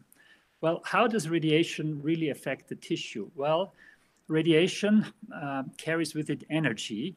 And if the radiation goes into the body, it deposits the energy there. And that's usually not good. Uh, if you want to take a comparison, it's like putting a lot of uh, heat into a tiny spot. So it's like burning injury. And some of the radiation damage is actually very similar to burns. Um, the action of the uh, radioactive isotope could be in two ways. One is deterministic. This is when you have a lot of energy being released, then we know that you will get a problem very soon. And deterministic actions occur within days to weeks, and um, uh, you will always see them. And uh, it's like an acute radiation syndrome, so that's something that occurs uh, after high, um, uh, high release and has a latency time of up to 30, 90 days. Now, the the real other effect that we're concerned with, it's a stochastic effect, and this is a probabilistic effect, and this is where cancer comes in. Um, for the lower uh, energies that get admitted, these effects can come much later, and it can even be later, like up to 30 years. And you don't know who gets it. So uh, you may have the same radiation exposure to two people. One may get cancer, the other not. If you have deterministic action, if you have the same amount of energy deposited in the body, both of them get the same, uh, the same um, symptoms. Now, just to give you a little bit of an idea, alpha radiation has an energy of 5 mega electron volts, which is for one radiation not so much, but in terms of how does it compare to the energy in one molecule, it's a lot. It's 10 to the 6 power more than the binding energy in molecules. So you can imagine if there's one alpha ray coming into a molecule, deposits its, all its energy there, it just blows up the molecule that's there. Now we're interested in the biologic effects of radiation. And uh, there is one way of uh, measuring this, and we have some units for that. And let me explain how that works you have the energy that's deposited by the radioactive isotope, and that we measure in gray, and that's one joule per kilogram of absorbed dose. So that's just the energy that gets put there. However, it is different if the energy is put there by gamma radiation or by a alpha ray because the spatial and temporal resolution of the deposited energy they differ so much so we cannot say um, this person get one gray and this person get one gray of radiation and assume that they have the, the same um, that same damage. This is why there is this quality factor, uh, which sort of um, uh, gets into the equation how damaging the um, radiation is. Now, for most of the radiation we're talking uh, today, that's beta and gamma radiation, the quality factor is just one. And in order to see this new um, unit, uh, you convert one gray by the quality factor and you get a sievert. So sievert is the unit of um, energy that includes the biologic effect. And we're always talking about the sieverts. Now, one sievert is a very, very um, high dose and most of the doses uh, we are talking today are much smaller. So usually, and in the following talk, I will be referring to this as millisievert, and I will show you how much radiation dose um, this is. Um, also, just to show you how big this quality factor can be, there's some uh, neutron radiation uh, which can go up to 20. Now, sievert is the equivalent dose. That means this is what the biologic effect is. And this also reflects the stochastic health uh, risk. For those of you who may have been around a little bit longer, about my age, you may remember that there was once a um, unit called REM, um, and that's uh, basically the same concept as the sievert now. Now, how much radiation do we get in our daily lives? There's all kinds of radiation around us, and the average exposure in uh, Western Europe is in the area of 2 to 4 millisieverts per year. That's the energy that is around us and that we are being constantly exposed to. Now, if you're a flight personnel, if you do a lot of flights, um, transatlantic flights, um, you will get a uh, higher um, radiation exposure because in the higher heights there's more um, radiation, can go up to 20 millisieverts per year. And cosmonauts, they are a very, very dangerous situation. they 400 millisieverts per year. Um, also, uh, there are some um, rules in different countries. For example, I think in Germany, if you have 100 millisieverts for seven days, you should evacuate that part of the country that has this uh, uh, activity. Now, the deterministic effects, these are the biologic effects. If you have uh, a radiation exposure of 10,000 millisieverts, which is 10 sieverts, then people die within 30 days. We don't have a lot of uh, uh, this happening, and you will see later uh, that we don't have, with the exception of the atomic bomb, anything in this in this range from the um, atomic power problems, power plant problems. Now with 2.5 sieverts or 2,500 millisieverts, you have an acute radiation syndrome, which is looking like burning injuries. Um, if you get a radiation of 500 millisieverts, you have reversible changes in the complete blood count, so that's something you can see. Now, if you come down to 250 millisieverts, um, you can see some effects in the chromosomes, but you will not see something when you look at people who got this radiation. And below 100 millisieverts, there is uh, no deterministic effects. So all of this following talk will be mostly concerned about the radiation that's down to below 100 millisieverts. Um, now let's talk about the banana. And I'm sorry to say, uh, you probably from today on, you will not see the banana as an innocent fruit anymore. And the reason is potassium 40. I just want to show you what the ambient radiation um, um, is and how much the effect is. Now, one banana has 0.5 gram of potassium, and we know that about 0.01% of potassium is potassium 40. Now, this is a radioactive um, uh, element. It emits beta and gamma radiation on a very low level, though. So you have about 20 becquerel, which is decays per second of beta and gamma radiation with an atom of potassium 40. And uh, that means if you feed your kids uh, bananas, you feed your kids radioactivity. Actually, um, out of the um, radioactivity that have we have in our food, uh, potassium 40 accounts for about 50%. So that's about um, uh, half of what you get through the food is from potassium 40. Also, if you think, well, that doesn't sound like a lot, um, I can tell you that in your body right now, all of us have about um, 700 million radioactive events every day. So all of us are already affected by radioactivity, but that doesn't really hurt us. But you have 700 million uh, decay events in your body every day. Now let's talk a little bit more about radiation damage. Um, if you have an external radiation source, um, you get burn injury. This is the deterministic effect, and that's not contagious.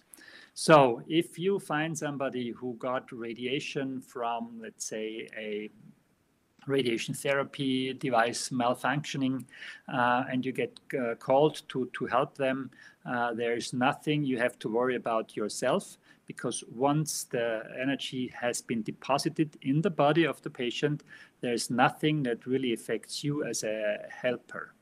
So that's not an issue. The issue with radiation damage that's more important for the helpers is incorporation and contamination. Now, that is if you take a radioactive um, substance like iodine 131 and you inhale it or it gets splashed on your skin. If you come there as a helper, this uh, radioactive isotope can, of course, leave the body of the person that has uh, incorporated, and then it will also affect you. So if you come to a, um, an accident with uh, radioactive substances, which is not just external radiation, but where there is contamination or incorporation, you have to act as if this was a bacterial infection because it could affect you. What's the death toll the, related to radioactive events? Well, um, the worst one, of course, was the atomic bombs in Japan in Hiroshima on the 6th of August 1945.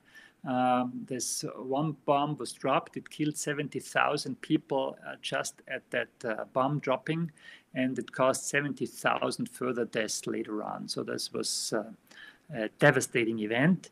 And the next day we had uh, Nagasaki, which had a bomb half the size of Hiroshima, so another 35,000 people were killed. So this is uh, um, the only, so far, the only place where atomic bombs have really killed people. Now, the next event that occurred where there was a lot of radioactivity exposed was Chernobyl in 1986, and I'll talk about a little bit uh, about this later. We had at that place 237 directly exposed people, and there was 28 deaths, and 134 developed an acute radiation syndrome. So this is the deterministic effects, uh, and we'll see later what the um, stochastic effects and the cancer rates are. In Fukushima, which occurred in 2011, there was also a um, nuclear power plant problem. It was about 10 to 20 percent of the activity release that we saw in Chernobyl. There were no radiation deaths, but there was 160 workers exposed to um, a dose um, more than 100 millisieverts, where we think the deterministic effects um, occur. What was also very interesting, and there's lots of interesting things, stories you can learn from these events. One is that uh, you would think that people in working in a power plant they know that if there is a problem they should take the uh, potassium pills and uh, also that will come on later. Uh, that didn't happen because the workers just didn't take it. And also uh, they were not really wearing protective covers so some of the workers got really bad deterministic um, burn injuries on their feet for example because not wearing um, the correct shoes.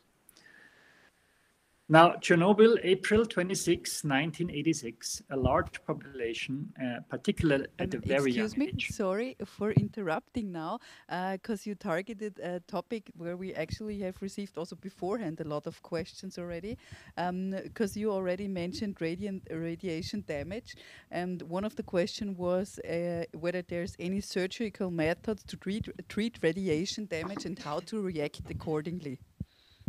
Well, radiation uh, damage by surgery, there is some ways of treating it, of course, but only for the deterministic part. If you have very large burn injuries, then you have to get in a plastic surgeon to do debris, debridement and uh, cleaning the wounds and so on. So only for the deterministic effects, there is no um, uh, surgical method that can clear the stochastic effects. So you cannot get out the uh, iodine or the cesium from the body.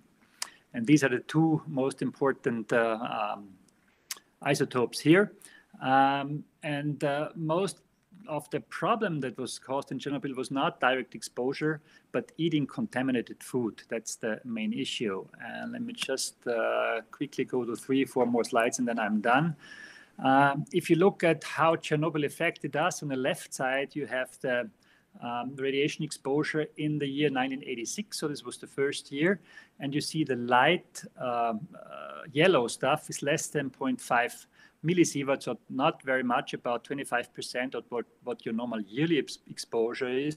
So it stayed pretty much in the region uh, of uh, Belarus and um, uh, Ukraine.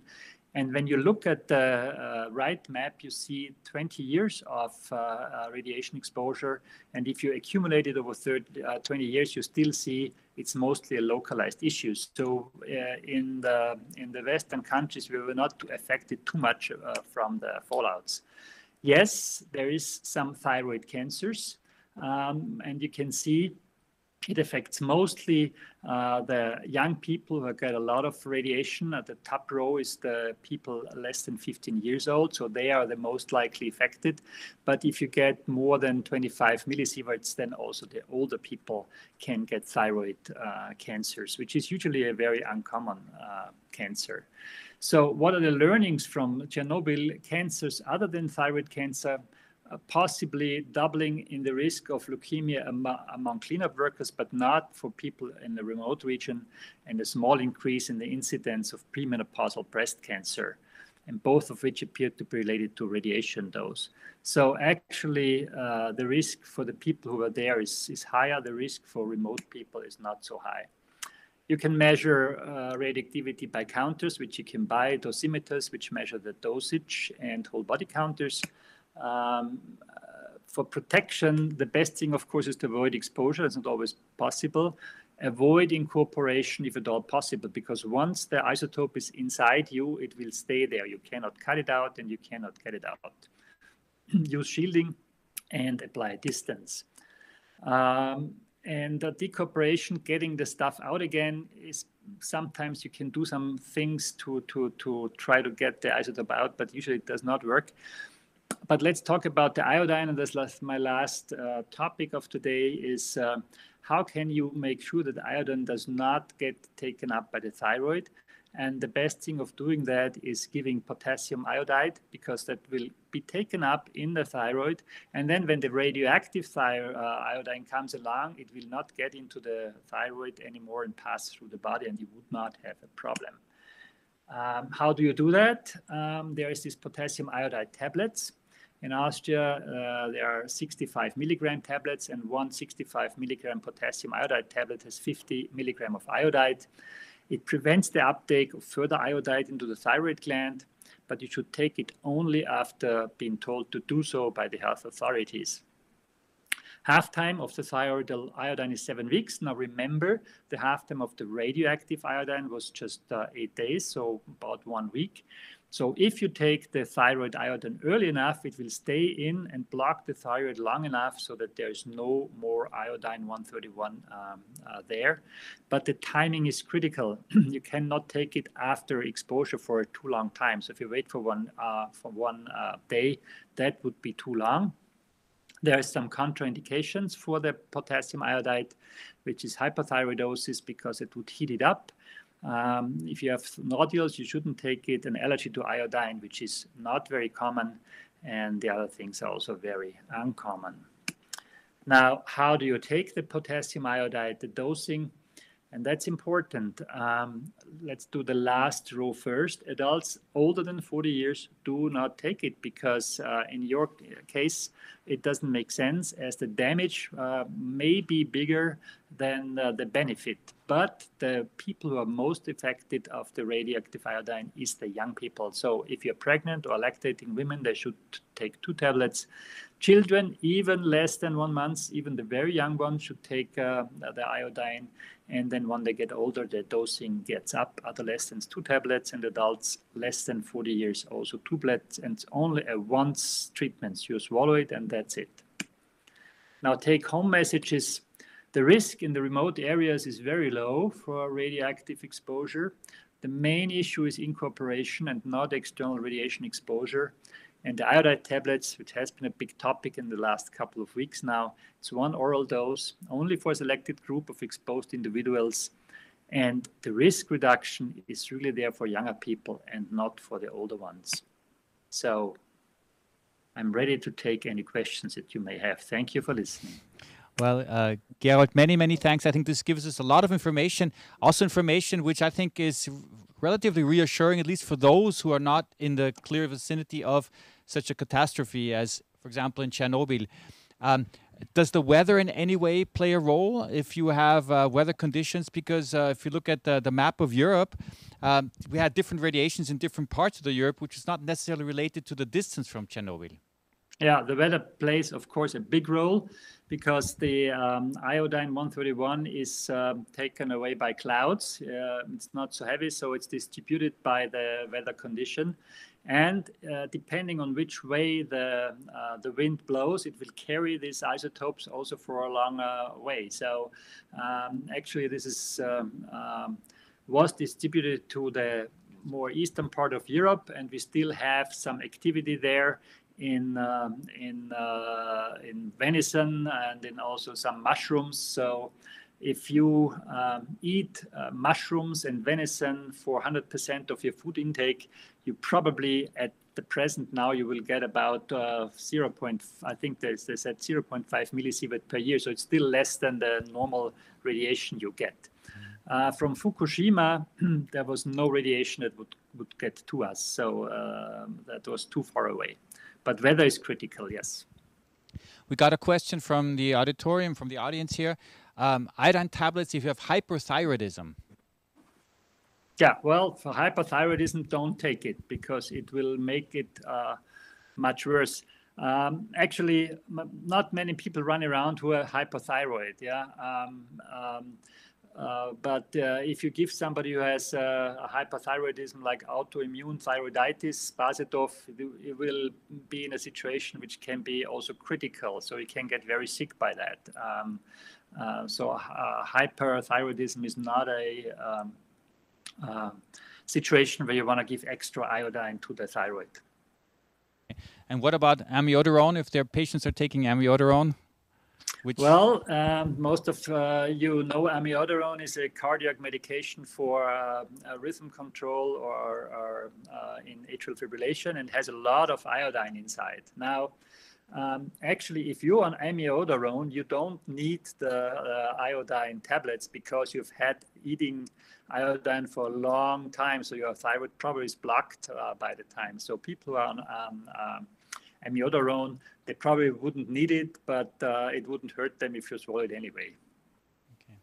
Uh, we, we got one more question maybe we'll take, uh, which again was the question of um, 40 years old. Um, is it also valid if contraindications are ruled out?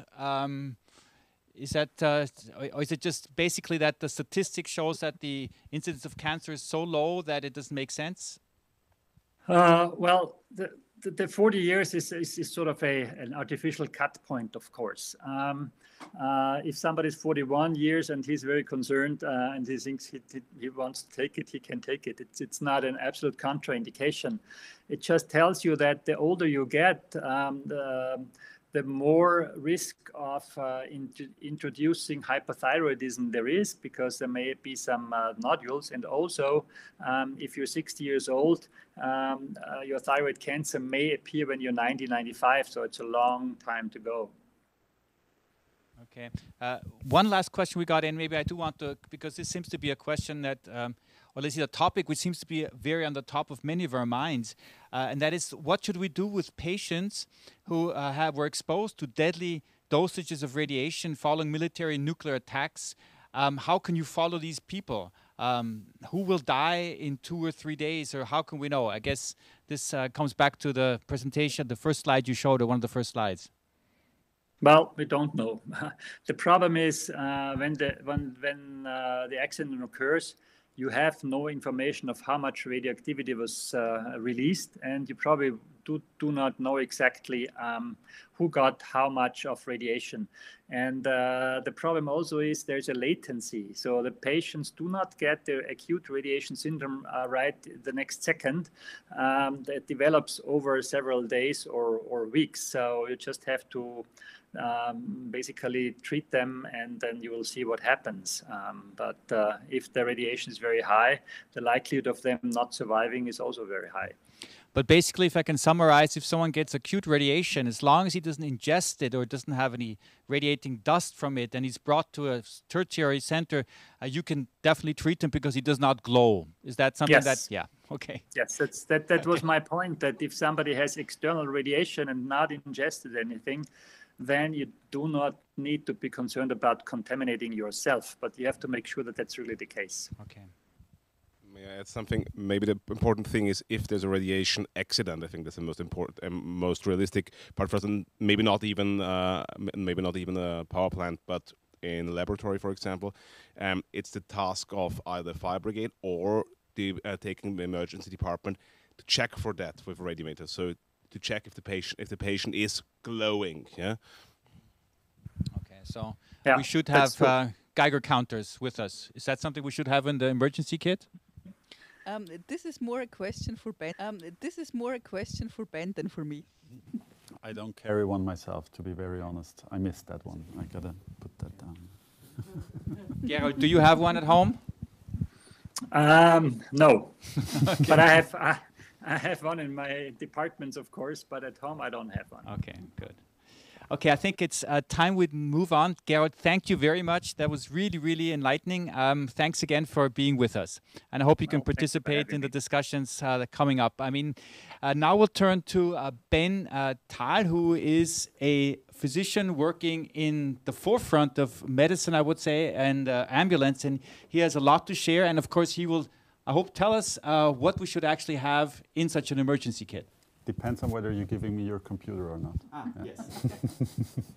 One second. Um, here we go. I started the presentation. Awesome.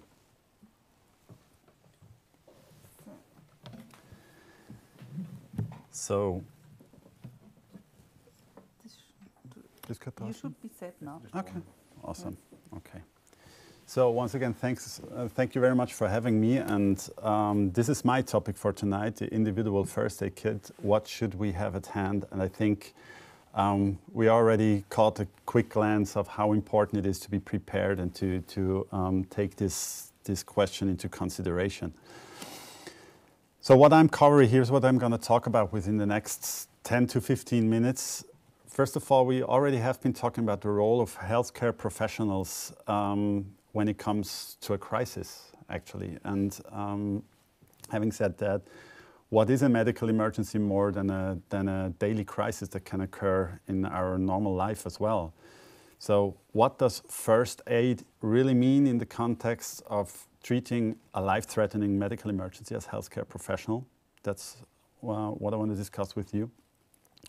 I want to point out why standard first aid kits may be not enough to treat a patient as a healthcare professional, as well as why fancy medical emergency kits, on the other hand, may be too much, and why a well-packed IFAK might fill the gap. This is actually an IFAK. I brought one of those with me. We can then just um, take it out and look what's in there. So, first of all, those are the crises that we can face each and every day when we're out in our normal life. I just put some of the pictures together and just to, to give you also a quick glance of my job. Earlier this morning, um, we were called to a roadside accident in, in the city where a pedestrian has been hit by a car. And this occurred very near to a um, to an insurance company, an insurance, a general insurance company where there's also, also a doctor inside um, treating patients. And his job is working for the insurance. So he's by far not, not a specialist in emergency medicine.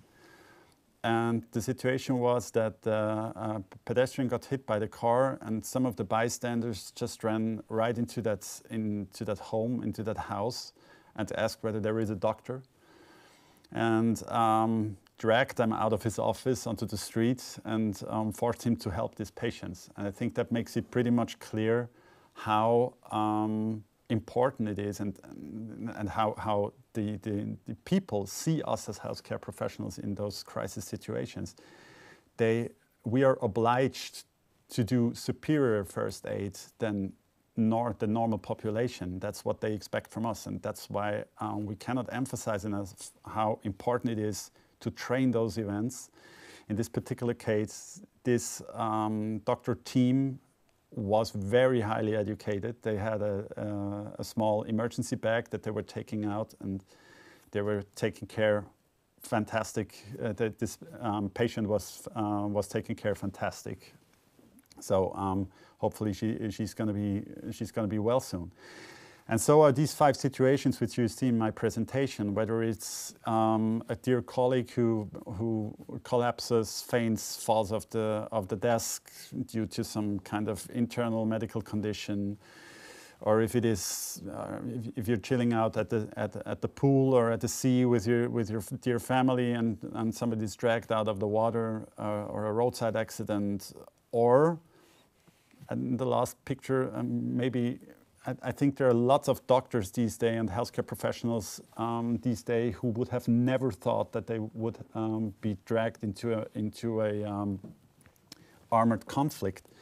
So um, those situations can occur, and basically, if, if we are not talking war situations, but the normal daily emergency situations, we will have to take care of this patient until the medical trained personnel, aka the ambulance, arrives at the scene. So um, normally this time, time slot that we will, we will be have to take care of the patient will not be more than 10 to 15 minutes. So within this time, we will have to overcome our own startle reaction, where we have to take, bring ourselves under, under control. We have, if possible, to have to have any kind of, of first aid or, or medical pack which we can bring to our patient to, to support him and to help him. And then um, support the ambulance team um, and, and also the emergency medical dispatch team um, to tell them how they can get as quick as possible to our patient.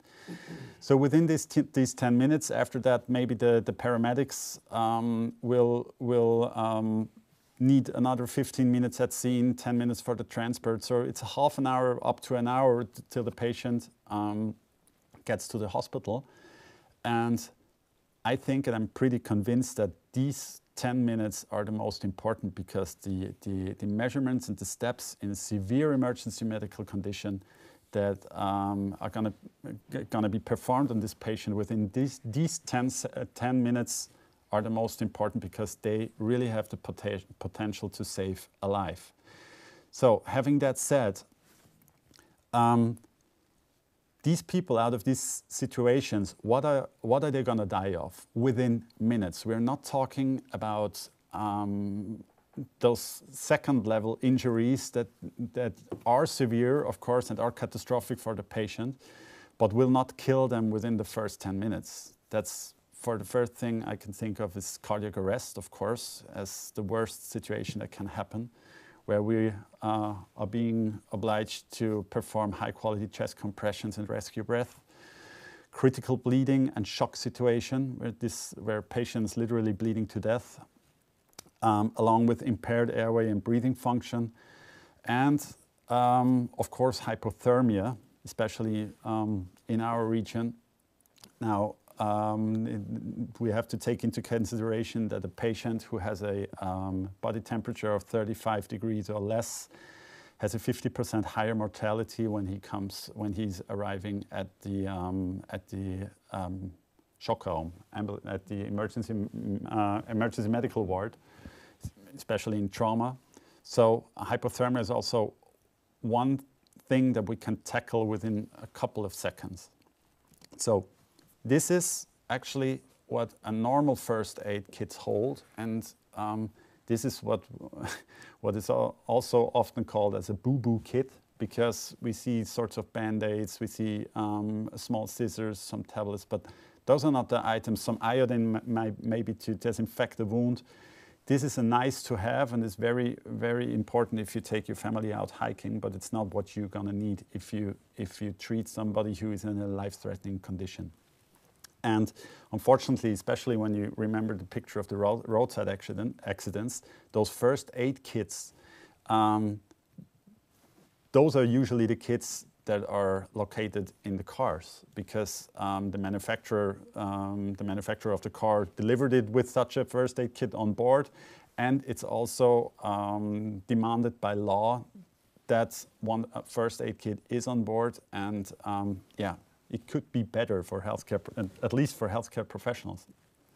So we need an upgrade, and this is where we are talking within the within the medical field. We're talking of two populations here. So on the one hand, there are the guys that are now packing their car and um, maybe also they're they're ready to go bags with high sophisticated fancy material like this emergency bag which I put in here maybe put some medication in and some syringes and you see there is stethoscope and and um, a device to measure the blood pressure but um, those fancy bags they bring along uh, several problems. First of all, they're pretty expensive, and it's very expensive to, to keep all these things always up to date in there, um, talking about expiry dates. Such a fancy bag is also pretty bulky. It takes a lot, a lot of space. Um, it is exposed to changing environment, environmental conditions. Like for example, in a car, it, it gets really hot, and maybe the, the especially the medication is being um, is being damaged. And after all, a big bag is not practical, and moreover, not at hand when you need it. You can have it in your car for a roadside accident. But um, for example, such a small pack like this IFAK, which I'm going to talk about later, I can take this, I can have this in my car. Um, when I'm out hiking, I just take this and put it into my, into my bag. I can put one of those into my medical office if I want. This is smaller and much more, um, eh, and, and having that said, it's much more likely to have it at hand if I really need it. So that's actually the IFAK, And IFAK stands for Individual First Aid Kit. It's, um, that's a personal device that has been introduced by the, by the military because it has the size that it can, it can be actually being carried individually by each soldier, as you see on the, on the lower picture down here. That's, by, by the way, exactly the same IFAK which I'm, which I'm going to show you they come in different shapes and different variations. For example, on the on the right side of the picture, you see one which is which can be directly mounted onto a headrest on the passenger seat, and they always have this shiny shiny um, red handle, which makes it possible to easily deploy the whole kit and um, for example, in such a situation, you won't have lot lots of time to open backpacks that um, might be, be um, attached to your plate carrier or to your, to your other piece of equipment. And um, for example, if you already used your own one and you see this red handle on, an, on another soldier, you can just drag it out. Now, um, as I said, there are dozens of suppliers of this IFAK. You just put the word IFAK and suppliers into Google, and um, they do all the same, and it's always the same, the same principle. Um, it's just holding all those necessary things that we need to tackle all kind of medical situations. Why I personally go for the IFAK is this is strictly tackles the motto treat first what kills first. So this is not a boo-boo kit, and especially, for example, when we're talking about ready bags in cars, it, it definitely makes sense to have a second kit which covers all the minor injuries and the smaller things. And the other thing, what I like about it is it is kind of a healthcare professional standard first aid kit because you will find it, um, for example, wherever you place it, but you will also find it within the military, within the, the um, civil protection agencies, law enforcement. They all they always packed the same size and with the same items. Therefore, it is highly transportable and in comparison quite affordable. So for, for example, this pack which I which I put together myself costs like uh, costs about 150 um, euros filled with all the things um, in it. So hence it is kind of spreadable throughout your personal life. This is actually the one I, I um, carry on my, on my backpack, which is on my passenger seat when I'm um, in charge with my car here in the Vienna Ambulance Service. I do also have such, uh, such an IFAK in my personal car, in my wife's car. And um, when I'm out and about and doing some adventure stuff in the woods or with my, with my kids, I just take this and throw it into my, into my backpack and have it at hand whenever I need it. So I would recommend let's just open it and see what's inside of it. Um, don't know, I don't need the computer anymore. Thank you very much. So first of all, you just take the big red handle and then you can, normally this is mounted, for example, with the Velcro on a backpack and you just put it out. First of all, I have um, two pairs or, or, one pair of nitrile examination gloves. In here, nitrile because I always have to into uh, consideration that my patient suffers from, from latex allergy. And then I open it up and I have everything at hand here what I need. First of all, a rescue scissors because... holding the camera? Yeah, yeah, of course. There we go. Looks like this. So first of all, I have one pair of scissors, which should be able to, to cut clothes.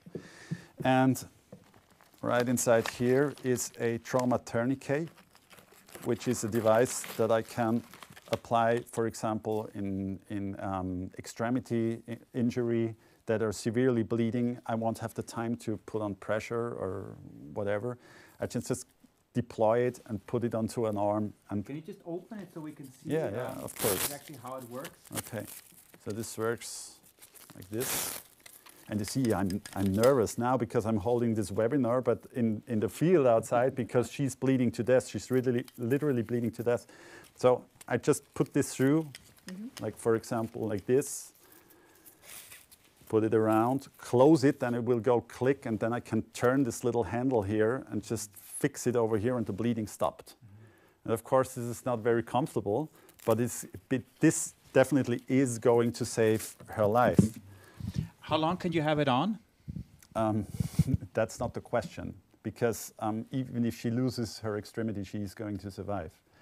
Um, normally, you leave it on until you arrive at the hospital and uh, let the trauma surgeons do the dirty work. so I think this is a, a, very important issue that you should not be afraid that you're going to harm a limb if you leave it on, right? Uh, well, you can harm the limb, but it's what does she do with a harmed limb if she's dead?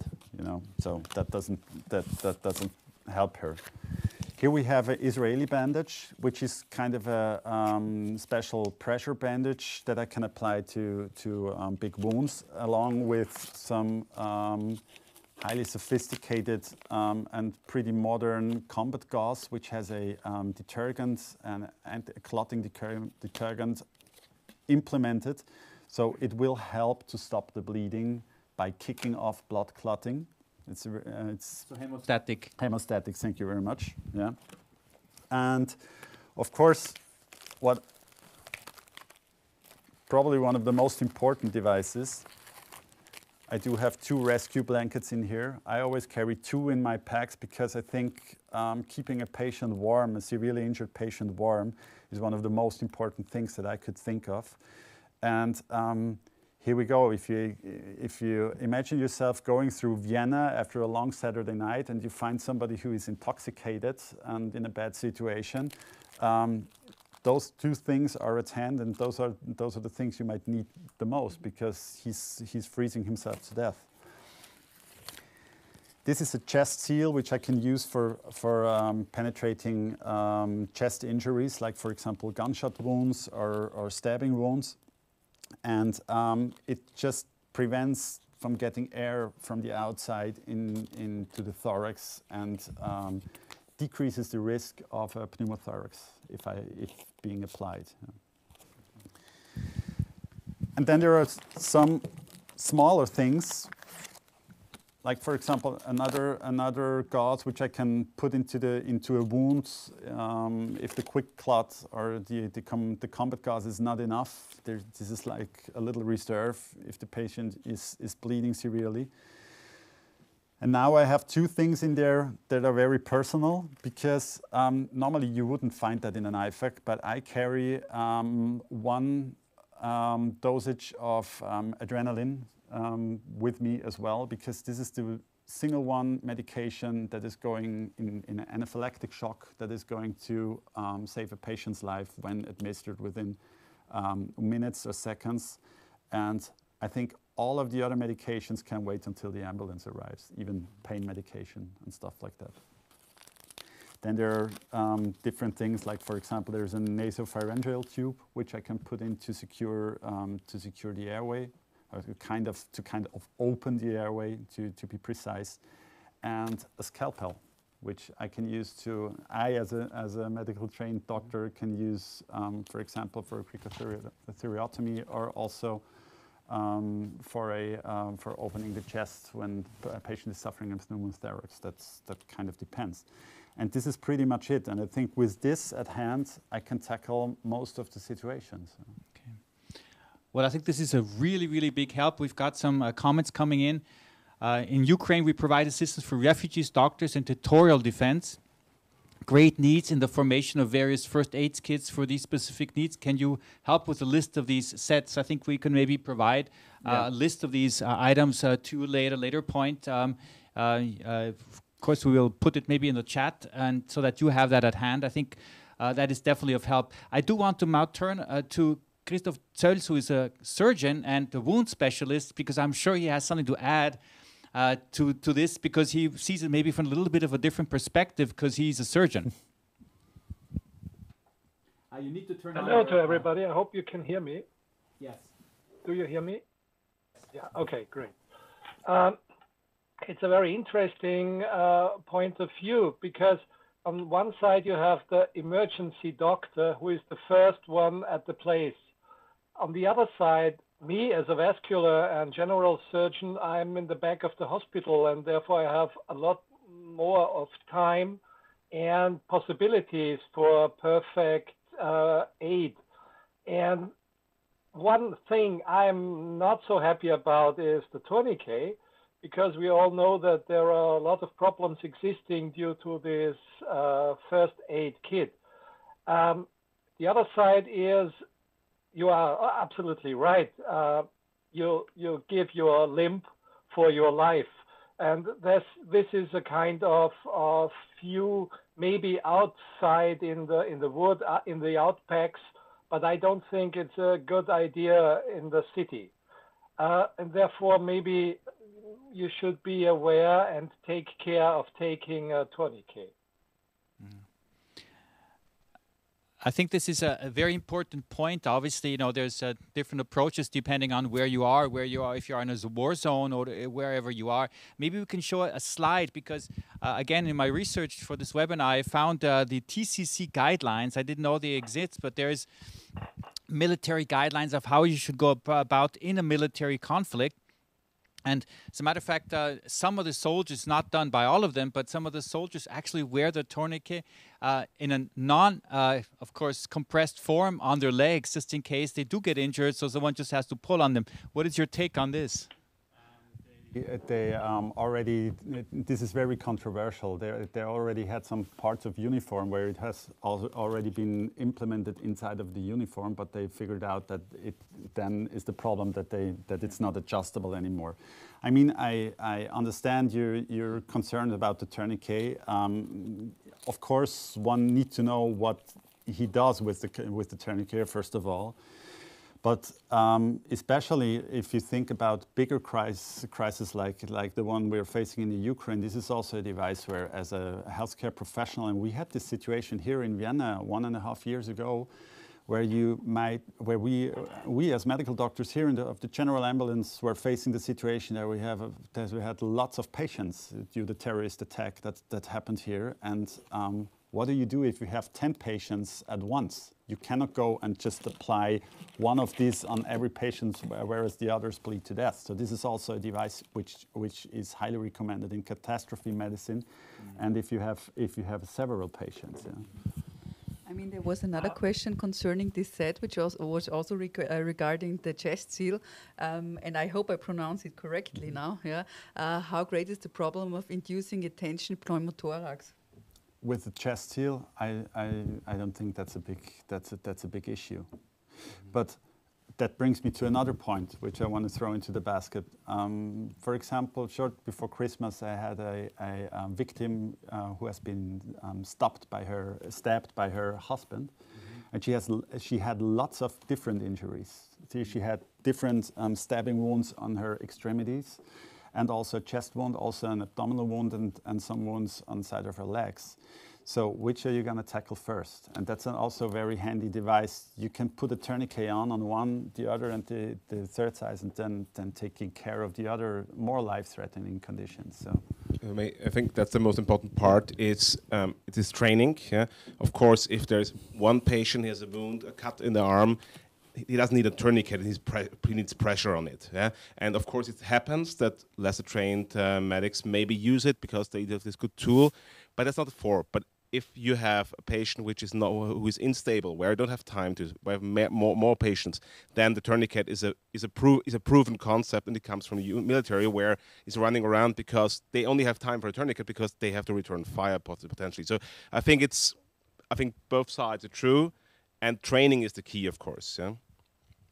Sure.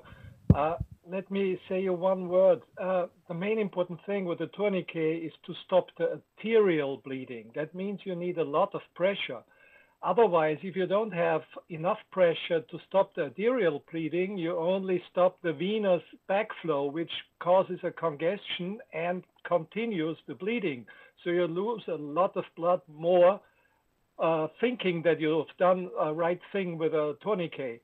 So I totally agree to you. If you take a tourniquet, it's no problem if you are familiar to work with.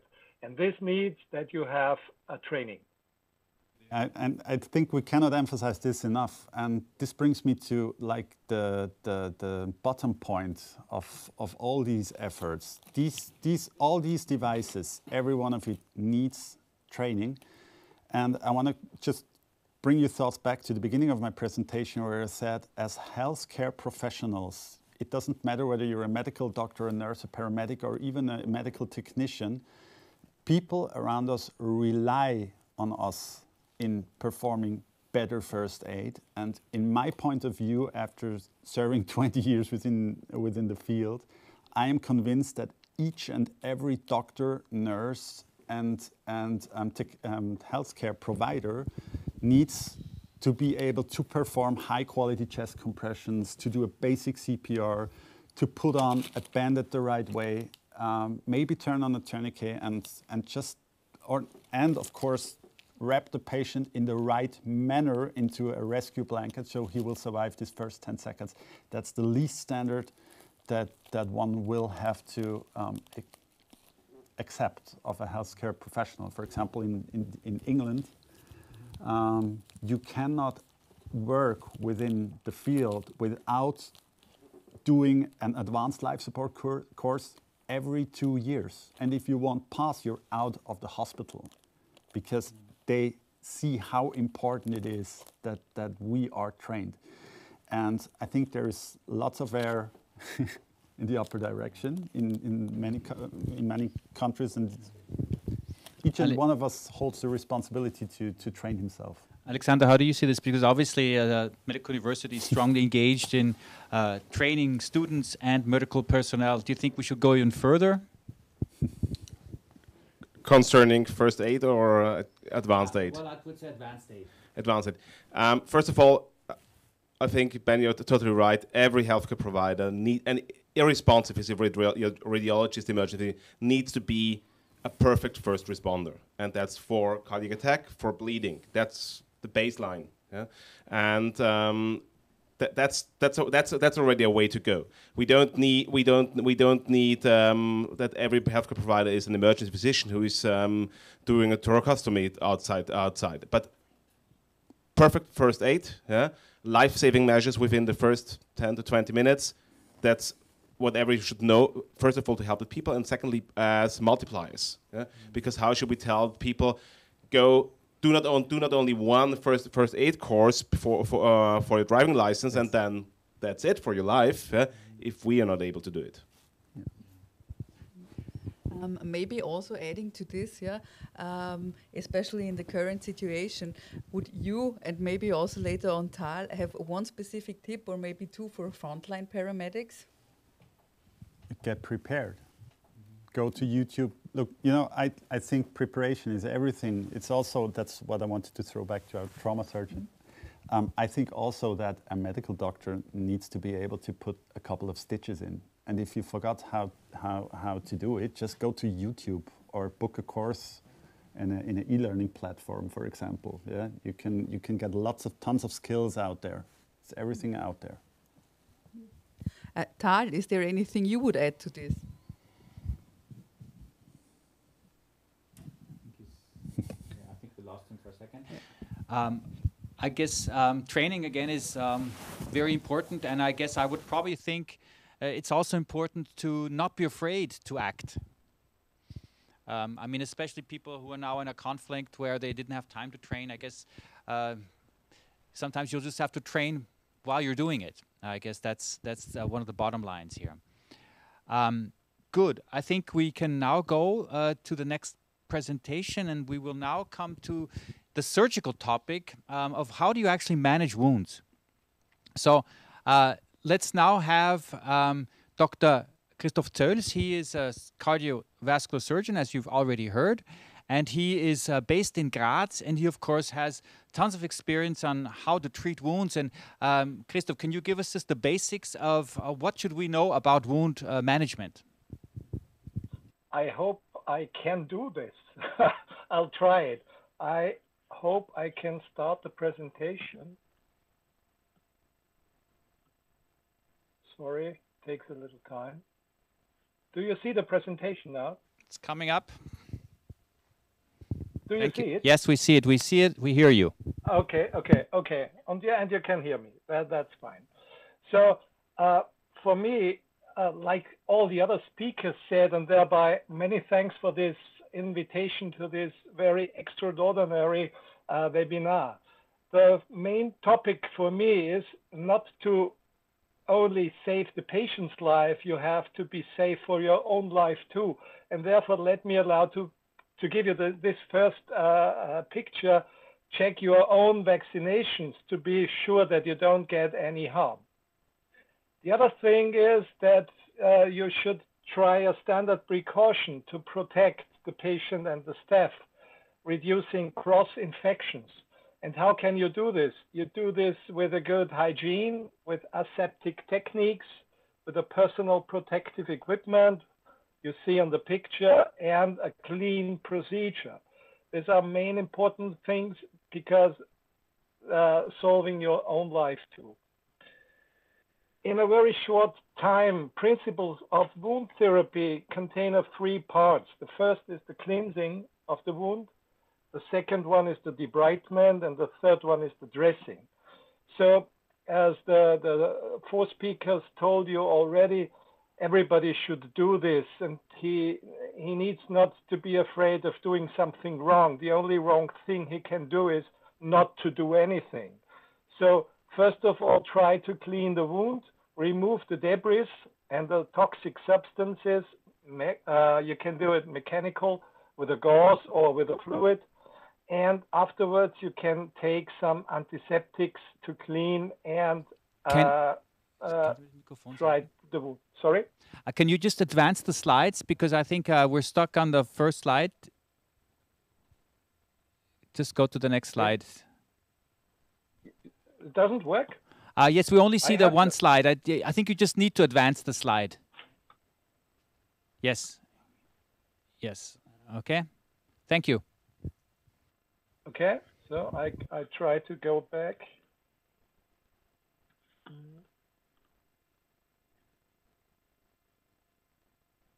Sorry.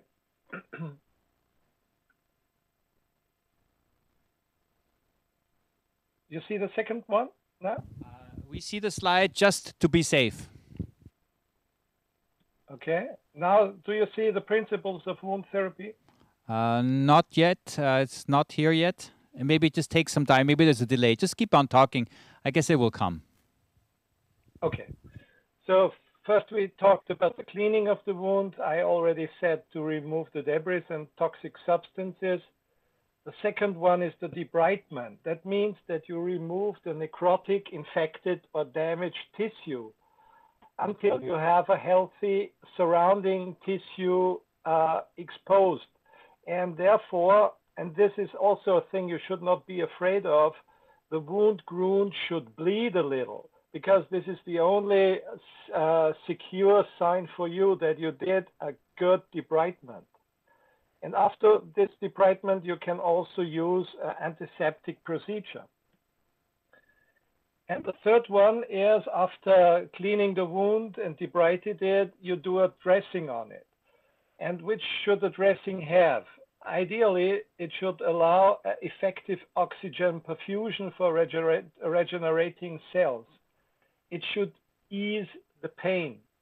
It, so, it should absorb exudate. It should help you with debridement.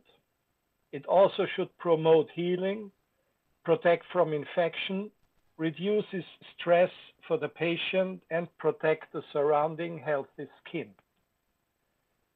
So, which kind of, of features we have? We have antimicrobials for cleaning. You know them as antibiotics or disinfectants or antiseptics. For antibi- antibiotics uh, or antiviral or antifungal agents or antiparasitic ones, you need to know exactly the pathogen to be sure to take the right pill against the pathogen. And therefore, you need a swab. And this is something you don't have in the emergency case. So you have to have a kind of uh, conscious and knowledge about several wound infections to take the right um, agent. Disinfectants you should not use. You only use it for sterilizing surfaces, but don't use it for the body because they are very toxic to the tissue. You only can take antiseptics.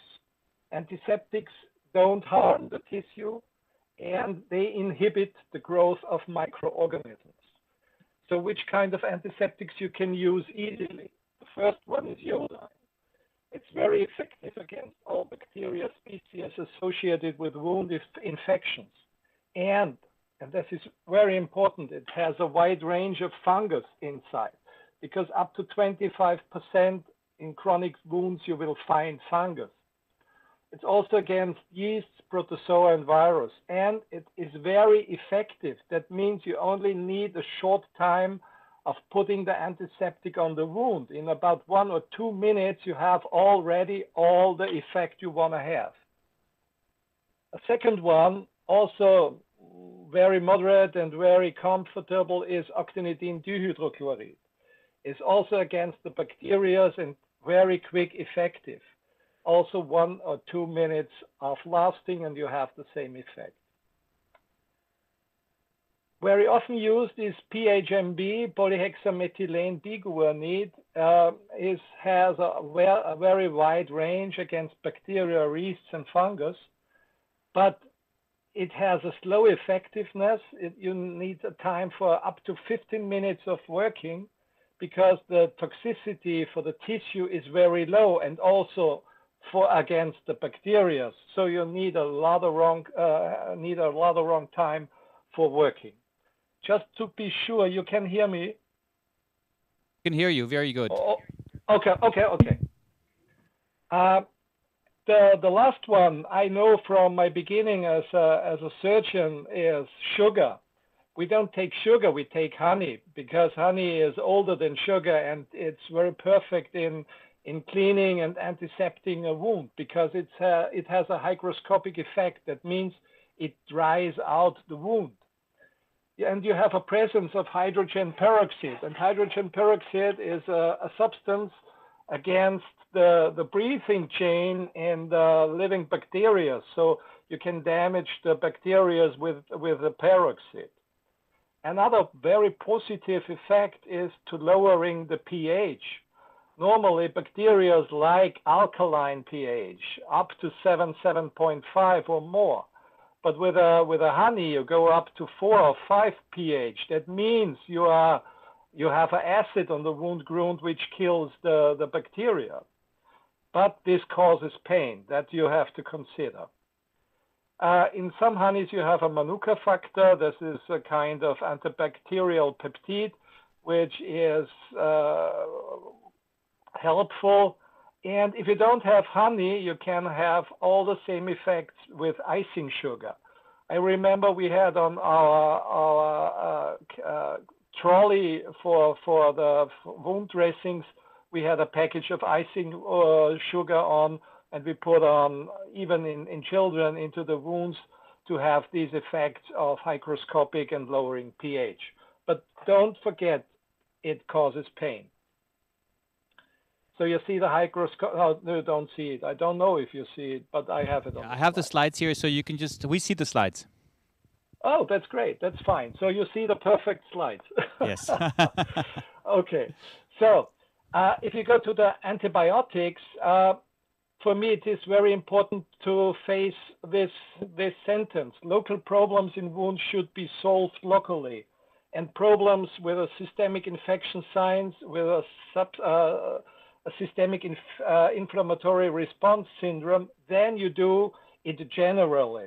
That means for me, then it's the first and best thing to take antibiotics, not if you have just a wound like you see on the right hand side with a with a, a small amount of bacteria on it. That is not necessarily treated with antibiotics. For me, just uh, easy handling uh, and the suggestion for treatment are oral antibiotics because you can usually, easily apply them. First choice for me is a penicillin because you have also a bone penetration. A second choice are folic acid antagonists because due to the fact that there were so many uh, antibiotics uh, developed in the last time, the folic acid antagonists uh, were not that much in, in treatment. So with a trimethoprim, you can have a chance if you have a penicillin allergy or uh, uh, something uh, resistance against penicillin to treat also Enterobacter, coli, Staphylococcus, and Proteus.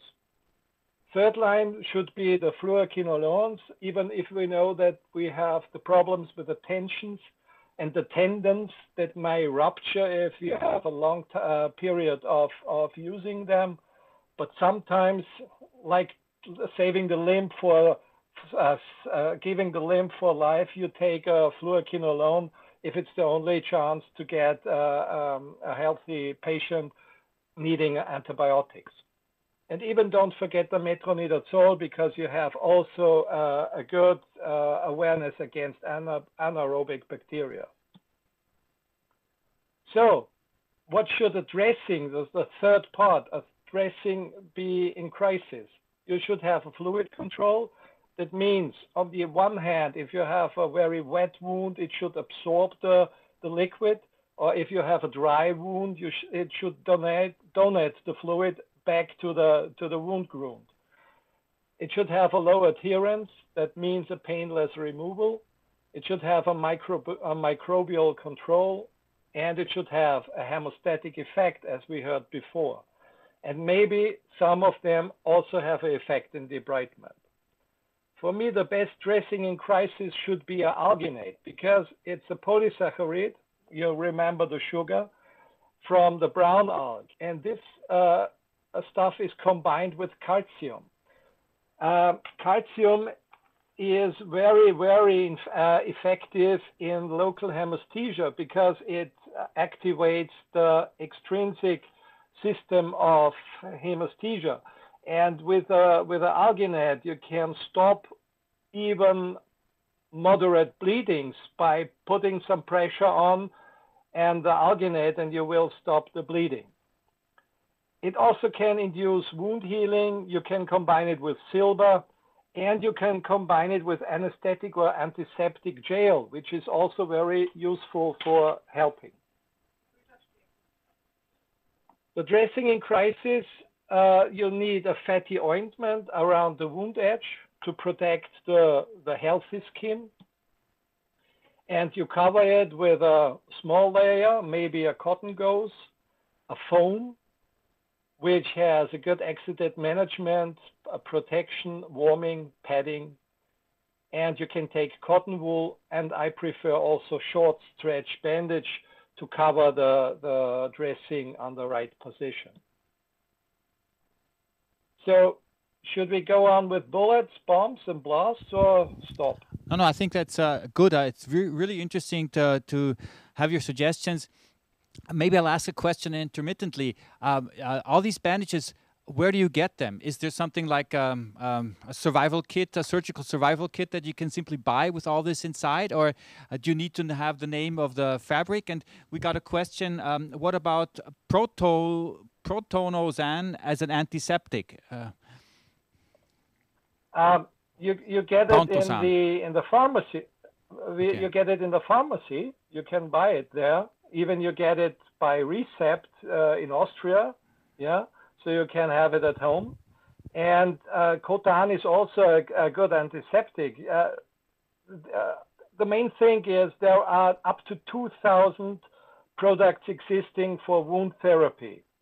And it's uh, rather difficult to say this one is good and this one not. So I only am focused on an easy way and an easy handling and a good effect. And these three or four suggestions are my favorites. Everybody who is familiar to wound therapy can use something else.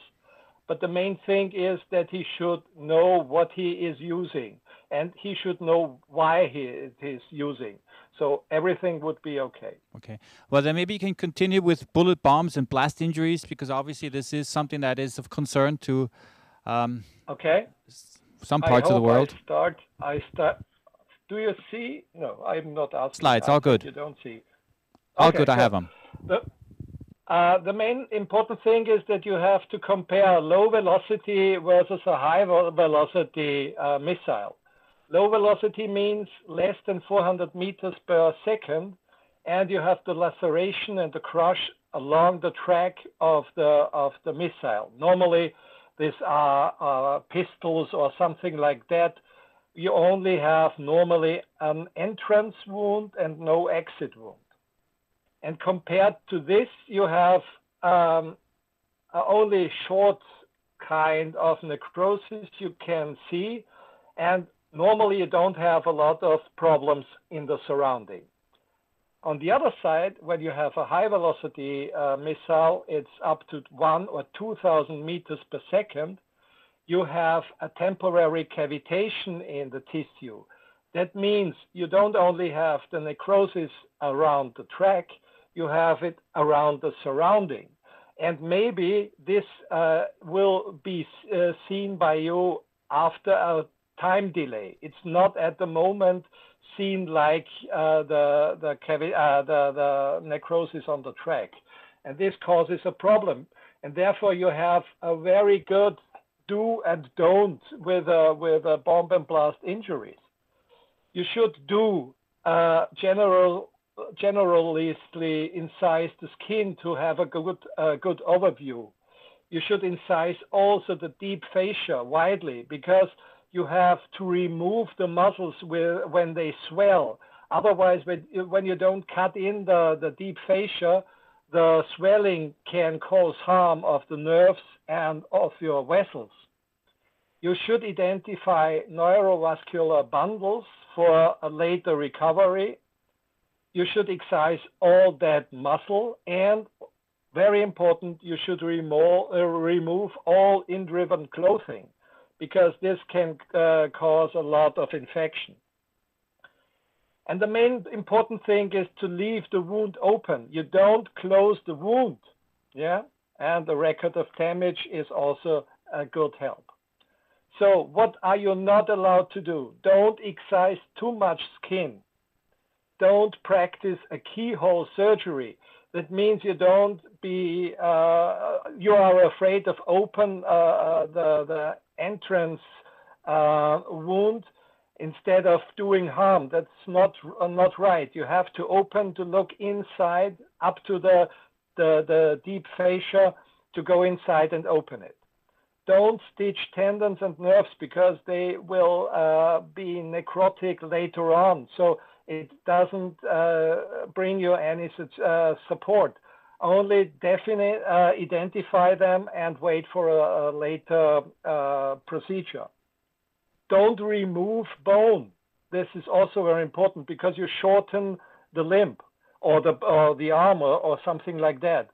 Try to remove uh, the bone fractures to the bone uh, skin, put them together and try to do a fixation uh, or splinting to keep them in the right position. Don't close the wound and don't pack the wound tightly.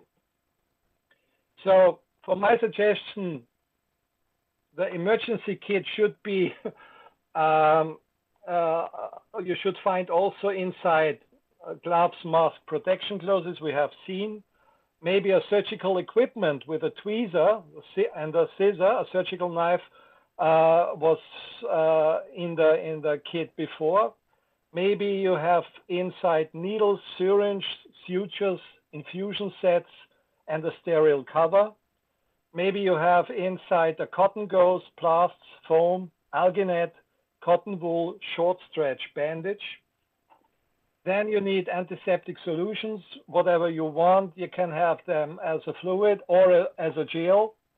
And a suggestion uh, we heard before you should have at home clean water. Clean water is also possible for wound cleansing.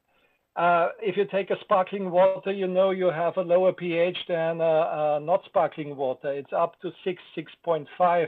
And then you have an antiseptic effect by cleansing. So uh, if you have enough water at home, you can use it as antiseptic solution.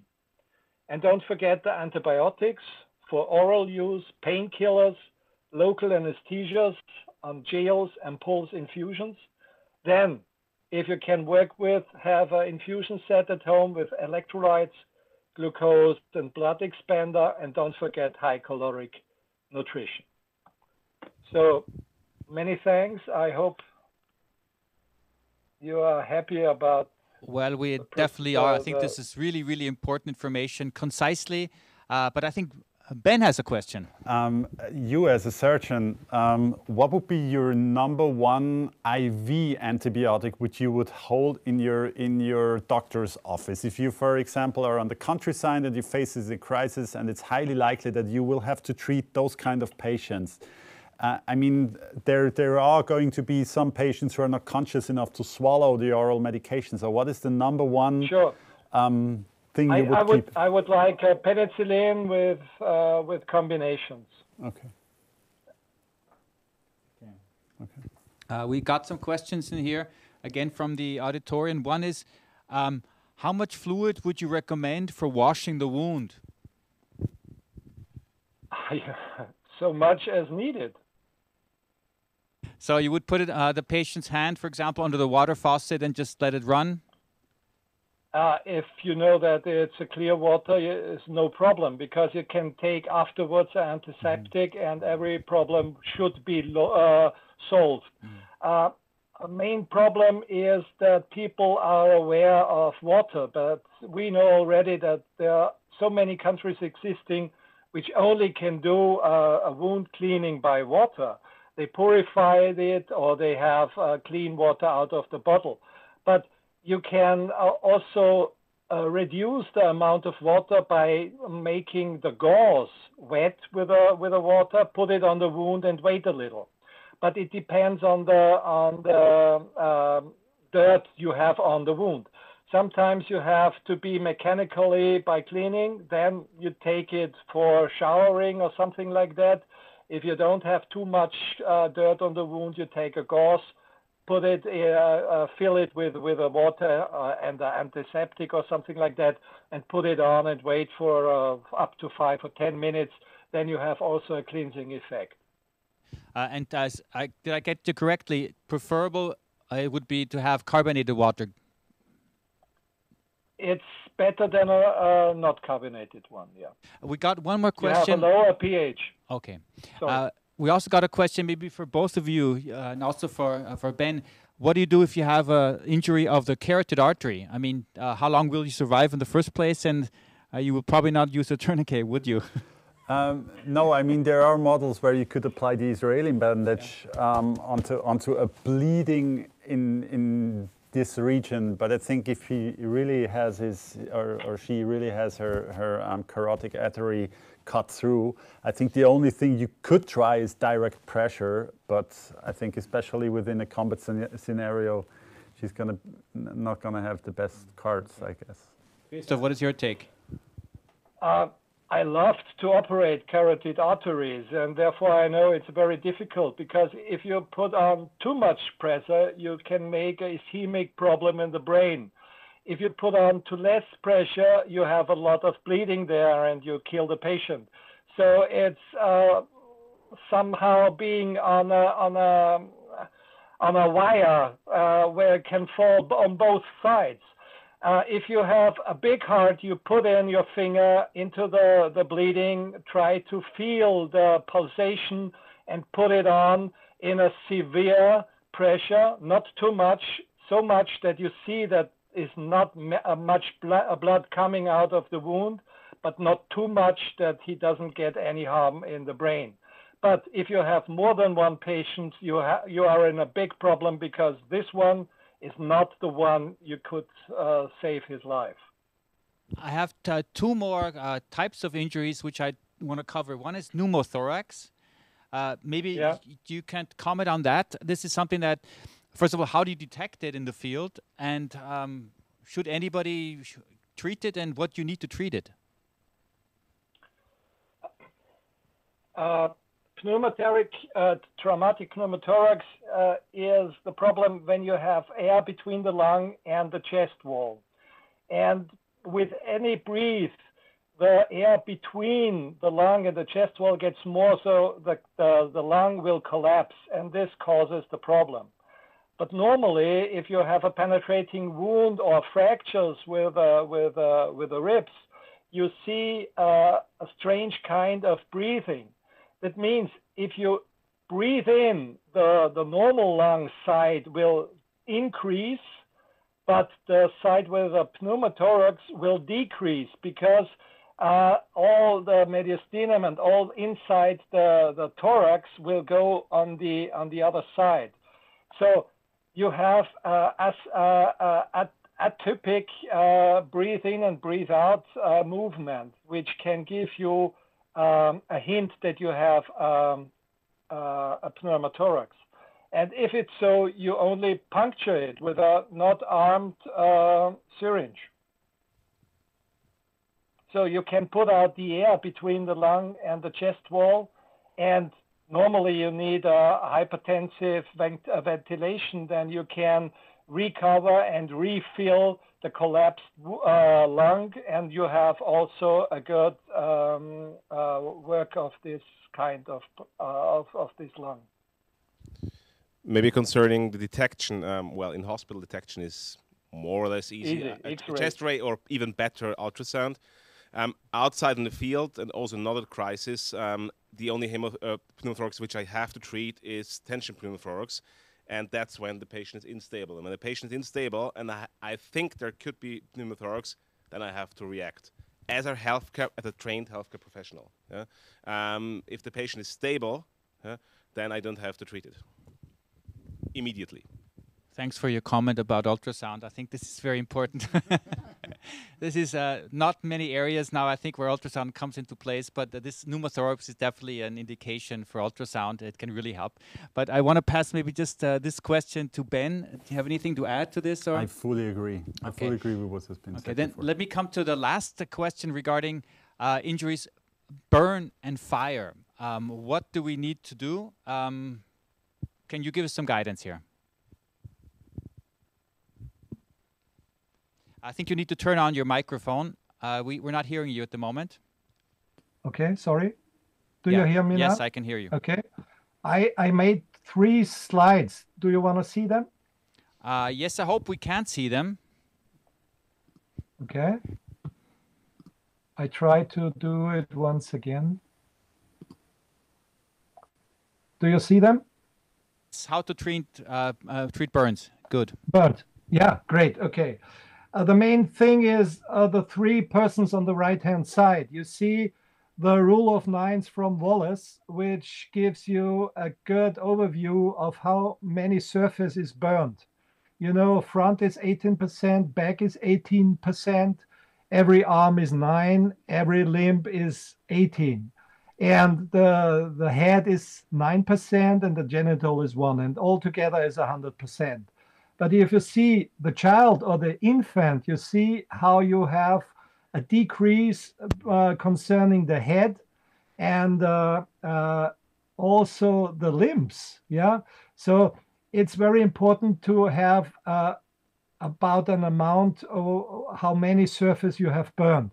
And then you can help with the surface of the hand of the patient because the surface is about 1% of, of, of the surface of the body.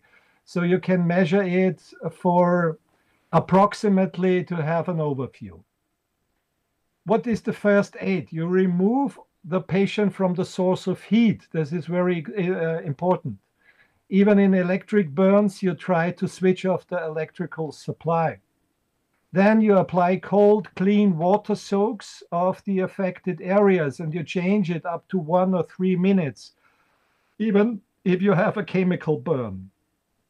And to transport the patient, you have to do it with a great care because everything hurts a lot.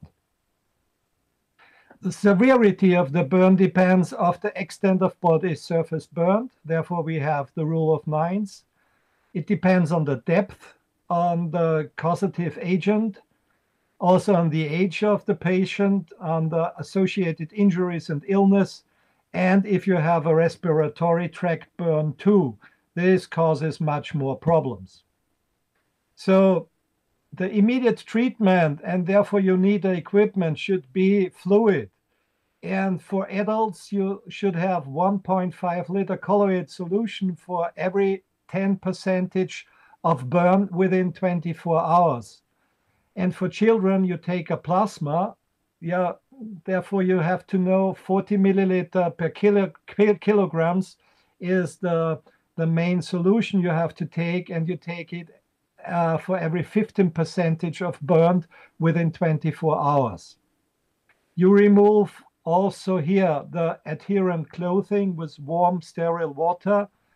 Blisters you find, clean blisters, you can let them. You need not to rupture them because the blister skin is a better uh, dressing than you would have tetanus and antibiotic prophylaxis you need uh, at hand. Nutrition is very important. And the burn dressing uh, should be placed on, for, for me, the best dressing, which is produced in uh, the United States, is Plurogel. Otherwise, you should take some water based um, uh, dressings, which are normally based on the gauze or, or uh, something like that you put on directly on the wound. And as we heard before, radiation burn, uh, burns have also a, a, a, necrosis which evolves, but it evolves more slowly and deeply than a burn uh, necrosis. And uh, this is uh, main thing which causes the problem. So I, I hope I'm here again. Absolutely. Do Thanks. I think me? this uh, this was perfect. I think this gives us a great overview. Um, I think at this point I need to say goodbye to Ben because Ben is actually um, already on duty. Yeah, he needs no, he needs to go to uh, work because he's going to save some more lives today. I guess. I have to bring the IFAK back to the world. Yeah. Okay, so he is on call today. So thanks again for having Thank you. Thank you very much. For Great presentation, and hope to have you at some later time, maybe again. Anytime you need. Thank you. Thank you very much. Bye. Okay. Uh, now let me uh, turn to the last presenter, um, to Alexander, who is a colleague uh, from the emergency department of the Medical University of Vienna. Um, and um, uh, Alexander, I think I'll just open the presentation for you. One second. Alexander is, um, of course, an emergency medical physician, but he's also strongly involved in uh, the topic of, let me see, where is the presentation here? Oh, I think I lost my.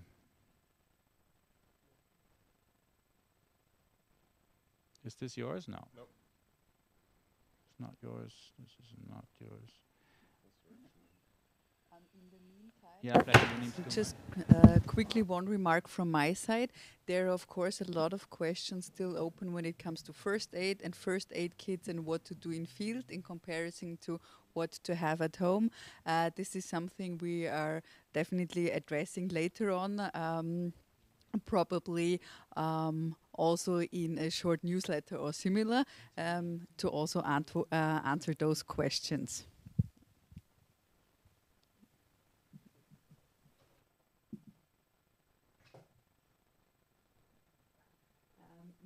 Well, I would also have another question for Dr. Porenta that came in. Um, um, basically, this is more of a pharmaceutical question, which is how long can the iodine tablets last from manufacturing and how to store them? Um, actually, you can store them just in the in the closet. There's no specifics about it, and uh, uh, they last around five to ten years. You have to look at the packaging. Um, you can can swap it in the in the pharmacy if you want to. Uh, in the schools, that it's done automatically in Austria. You. And additionally, there were also some question about protective clothing. You already mentioned some materials that are useful. What is actually really useful, uh, like in a non-supercritical country like Austria, to have at home?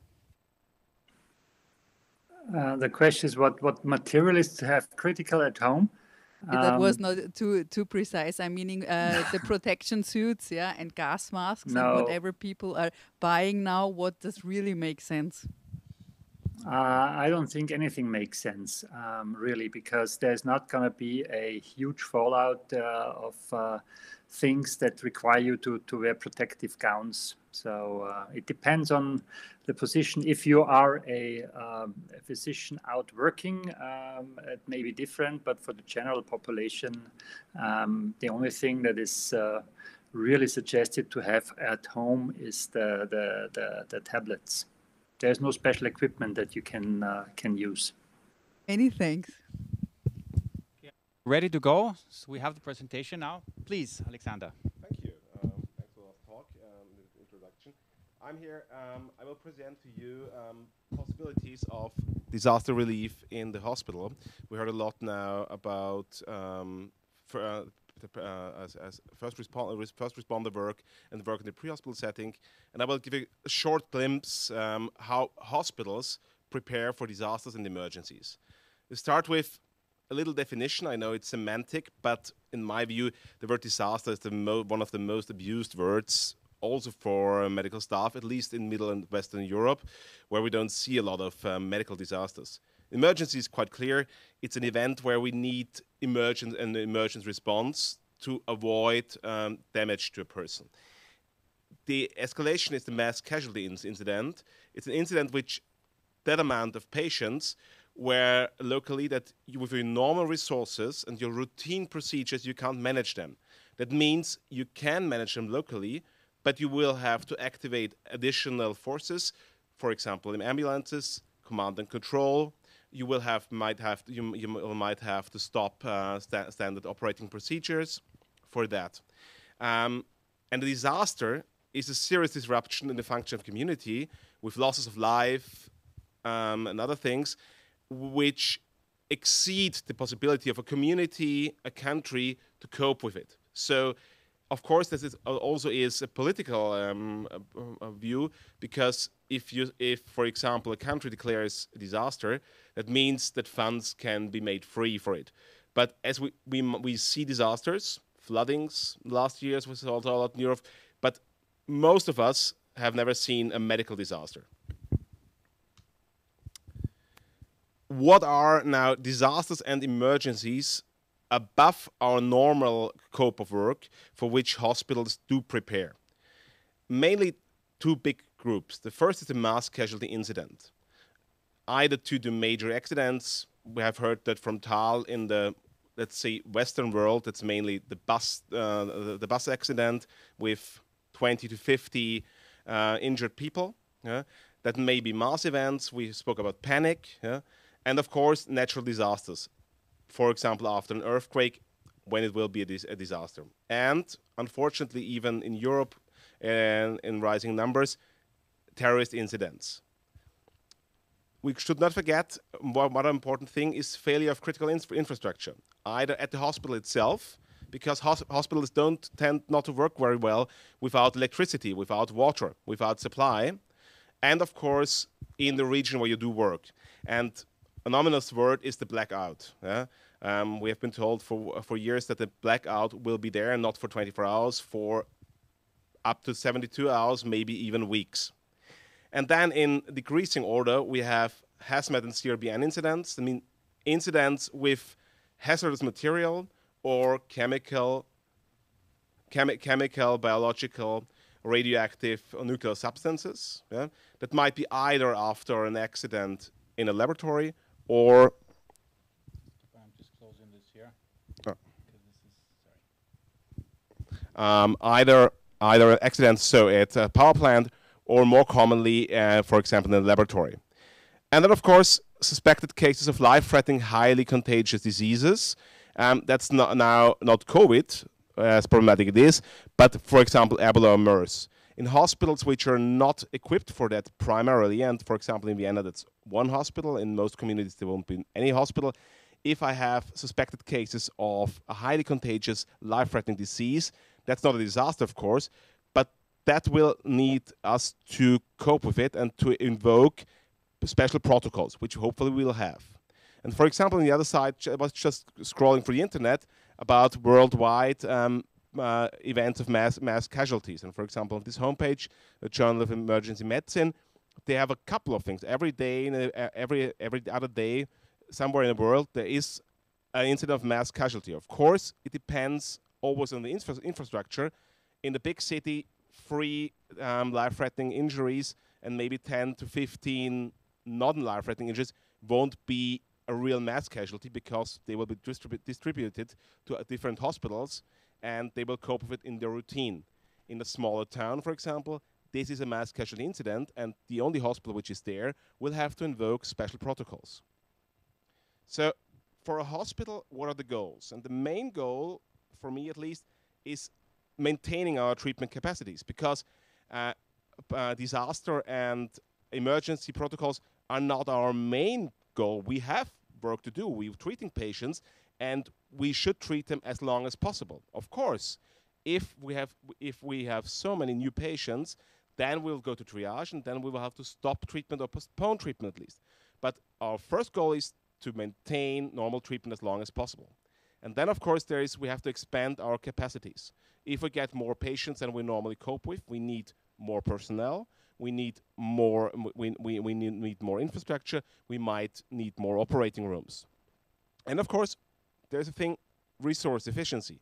Um, it's not helpful if we use all our resources that we have in the first hours because maybe what we are not used to in middle europe uh, this is an incident which takes hours days weeks. Then we will have to keep up our work for the next days. So we can't call in every physician, every nurse who is on call. We will, might need some of them the day after tomorrow, the day after tomorrow. Yeah? And after coping with the incidents, we should return to our routine operations because we go back to one, we have to care for our routine patients. And so it's a cycle which is not for the hospital, which is a cycle for um, all emergency care and preparations. It starts with preparation, hopefully hopefully you have anticipated um, scenarios and have prepared for them. But um, the quality of preparation is always tested in the incident itself. So then there's the incident, and then you have the response. After the, after the, the incident has been worked up, you go back to normal to, to, no, to normal workup, and then you have to do two things. First of all, you have to evaluate what you have done because all scenarios you have planned, the real scenario will is the test on your preparedness. And the second thing is prevention. In the hospital itself, we can't do a lot of prevention. We can preparation, and that's our job. We can't prevent uh, exams. But for example, but that's from municipal uh, uh, For example, Ben, in his capacity as a senior emergency physician, he's not only treating, he's also advising the city. And if, for example, we get a mass sport event after COVID, and when Vienna will land, let's say, another European World Championship final, um, their planning is needed to avoid a mass casualty and to alleviate the, the, the consequences. So preparation. So why do we prepare? Well, because it's not necessary, but preparation is should is in most countries will be mandated, yeah? either locally or, uh, or, or or on a national level. And even for those countries where there might not be any mandate, um, there are guidelines, and especially the World Health Organization has published a couple of guidelines and also introduced a couple of course formats uh, for all countries, but especially for lesser developed or developing countries.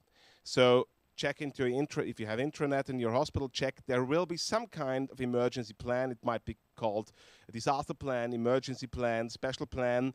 It might be hundreds of pages or just two pages we will do it um, but most hospitals will have something.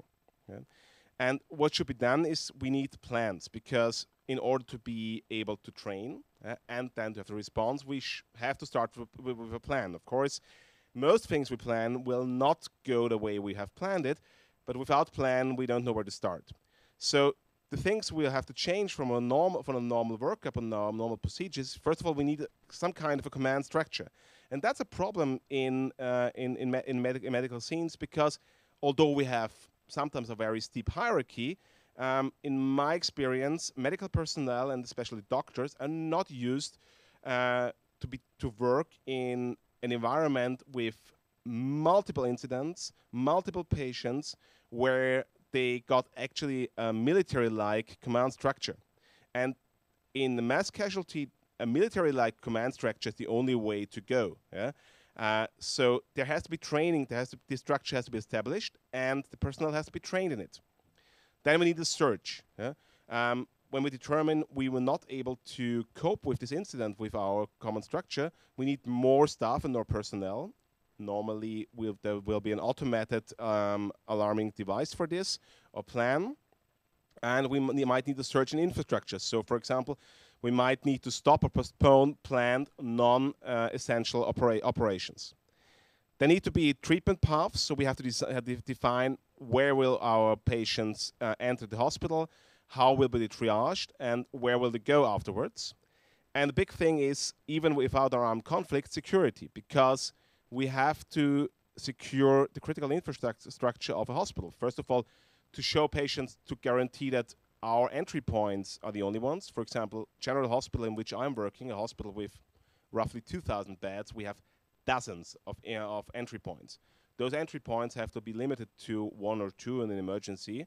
Um, actually now we're used to it to the, the due to the COVID pand pandemic, but that's something we need in a mass, mass casualty because for us it's defined with one uh, entry point for patients and two point entry points for personnel. And we need the infrastructure. We have we have to have it and we have to secure it. And a very important thing for uh, for hospitals, of course, is electricity. So every every hospital should have, and I believe every hospital will have some kind uh, of backup generator or generators. But uh, they only work as long as they are uh, as, as they are maintained and as long as they have fuel. Normally, the fuel workup is for 24 to maximum 72 hours. And then there comes the big point of training. Yeah?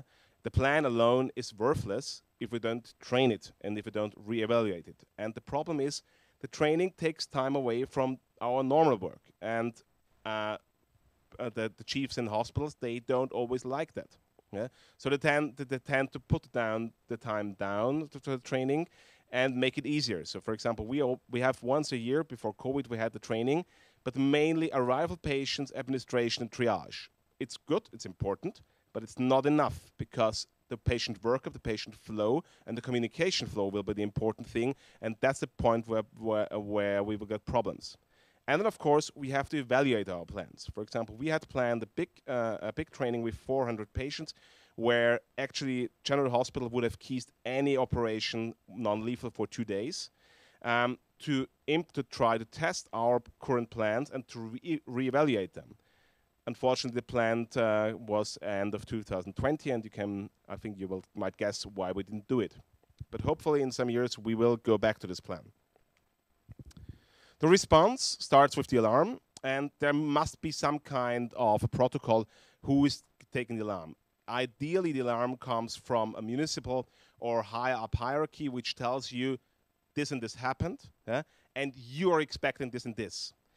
If this is not working, there should be a backup plan that, for example, the director of an emergency department or the director of a hospital can implement uh, the emergency plan, but that's also always a little bit tricky especially in a big in, in, in a in bigger community because well I might I tend to tend to see uh, on the television and I see oh a, uh, uh, um, a house crashed after for example a gas explosion. Well it was a five-story house maybe 30 people in there but I don't know how many people are actually in there because I don't have a report and I'm, a, I'm, in a, I'm in a city with maybe five major hospitals, so I don't know. Will I get 30 patients? Will I get more? will I only get three patients? So I can activate my plans, but I don't know which which level because there should be on different levels and if it's necessary. But as a fail-safe, yeah, we also have this. Um, the head of the emergency department and the senior physician can always activate the emergency plans. But ideally, it should come with an order from higher above. Then we need to establish a command structure that's actually an incident command who will lead and with which structure at the emergency department. And parallel, which will take more time, we need a command structure at the hospital, which normally will be a, a, a, a command staff. And on municipal level above, there will also be a command staff. But that takes up to some hours to be established. And then we have to call in all additional staff that we need. And there's an important thing, as many as needed, as few as possible. In my department, for example, we have 30 physicians and 80 to 90 um, nurses. If all of them, came in at once, we wouldn't have place to work, yeah? even with, sur with surge.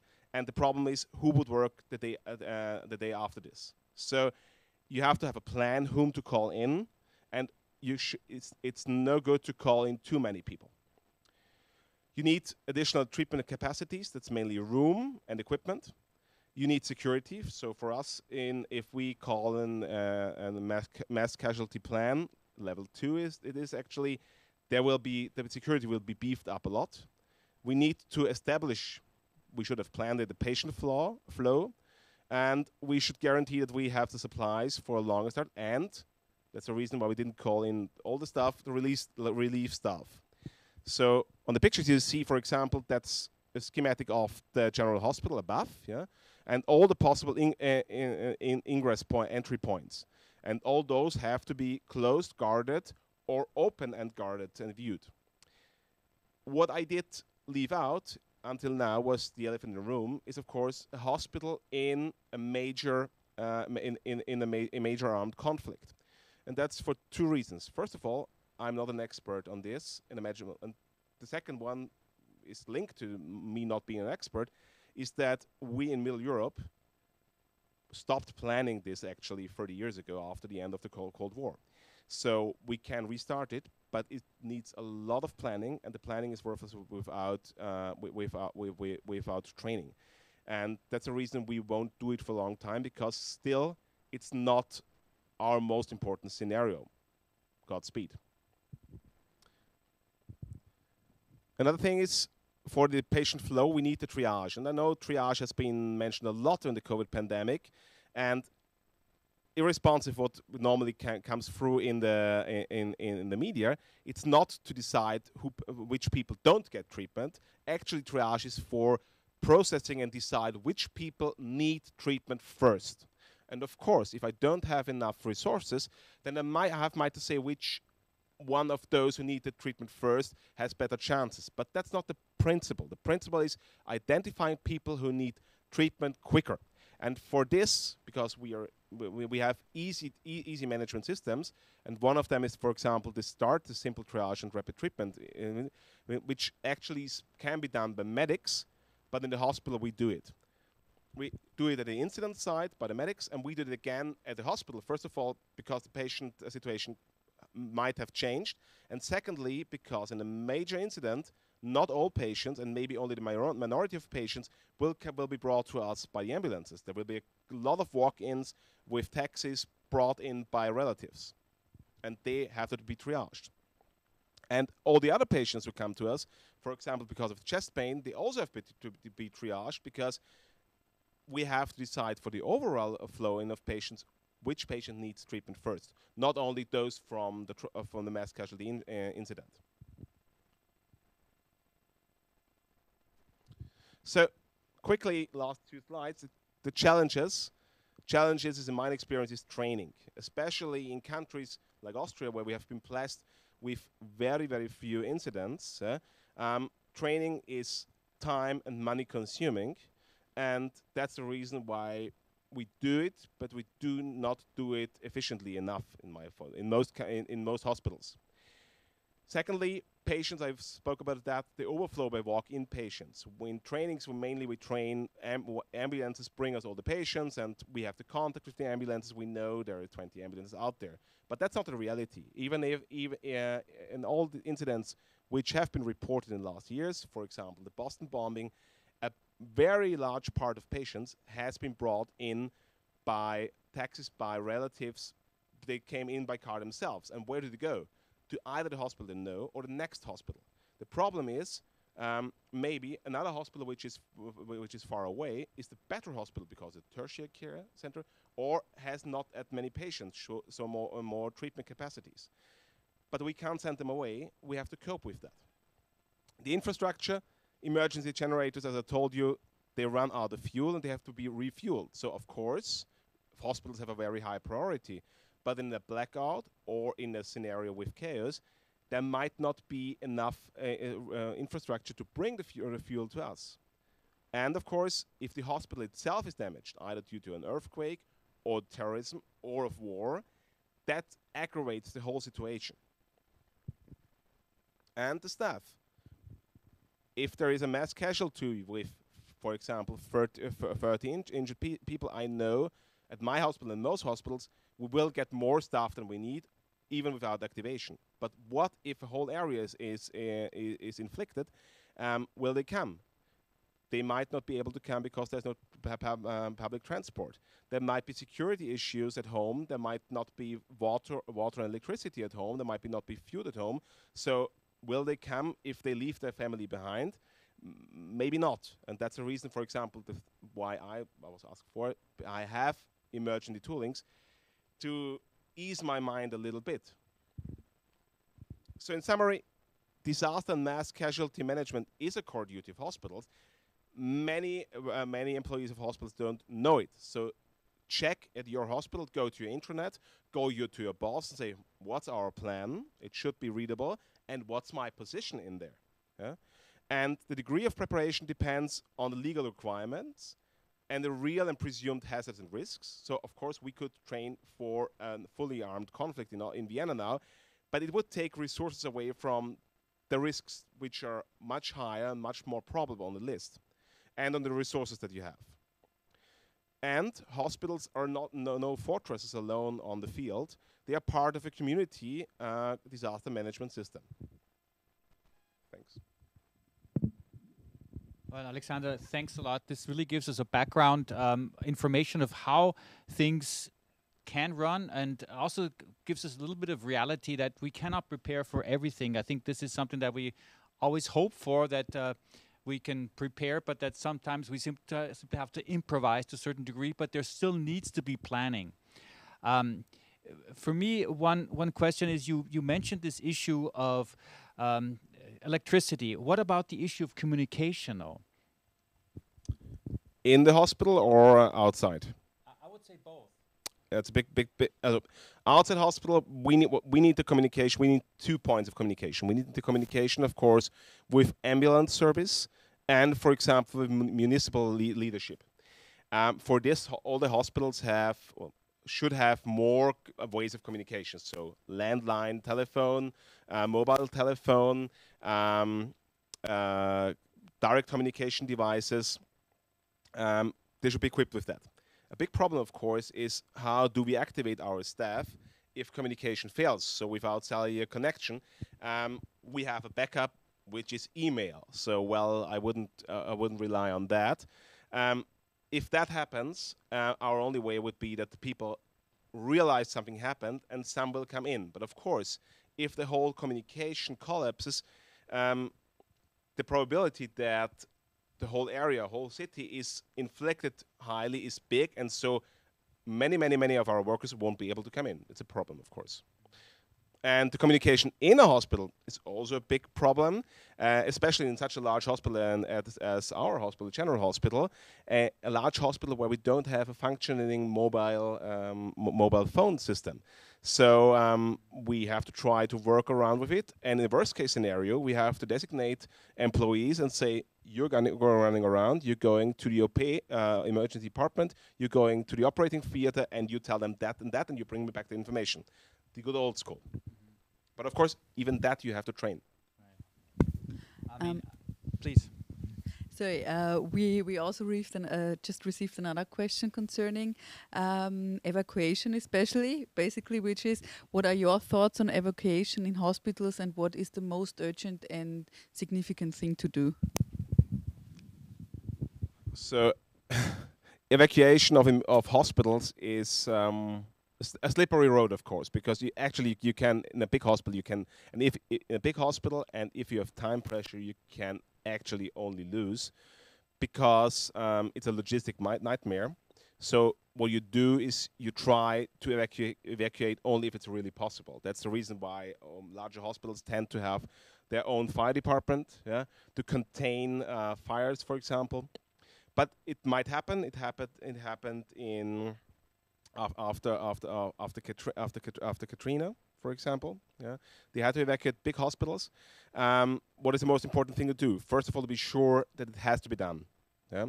Uh, secondly, um, you should have a plan, hopefully. Uh, organize where to bring the patients, yeah, because we don't have enough room out of the hospital to, to store them. And then you have to do a triage, which patients need transport first. Might depend on the hazard. If the fire is in Tower A, well, then you have, you have to evacuate Tower A. But also which patients um, you can bring just to an uh, to assembly area, and which has to go to. But it's a that's something where really you need to have a plan for that. Training might be difficult. We can evacuate one ward, one floor. You won't evacuate a fully working hospital. Yeah, that's a hazard. But that's something where you really have to plan. And so I have to say, I'm only the part of a team where we plan emergency on disaster relief.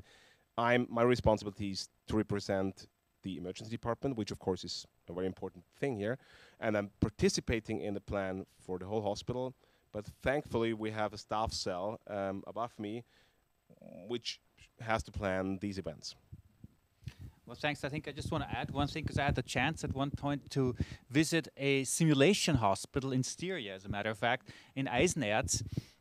I don't know if you know the center, but um, it's incredible that uh, they actually are able to simulate even fires, evacuations, um, it's a complete, fully equipped hospital, but which is not for patients, but which is actually really only for training purposes and where such uh, scenarios can be simulated. It's being used by many other countries as well. So this is just something I want to add here.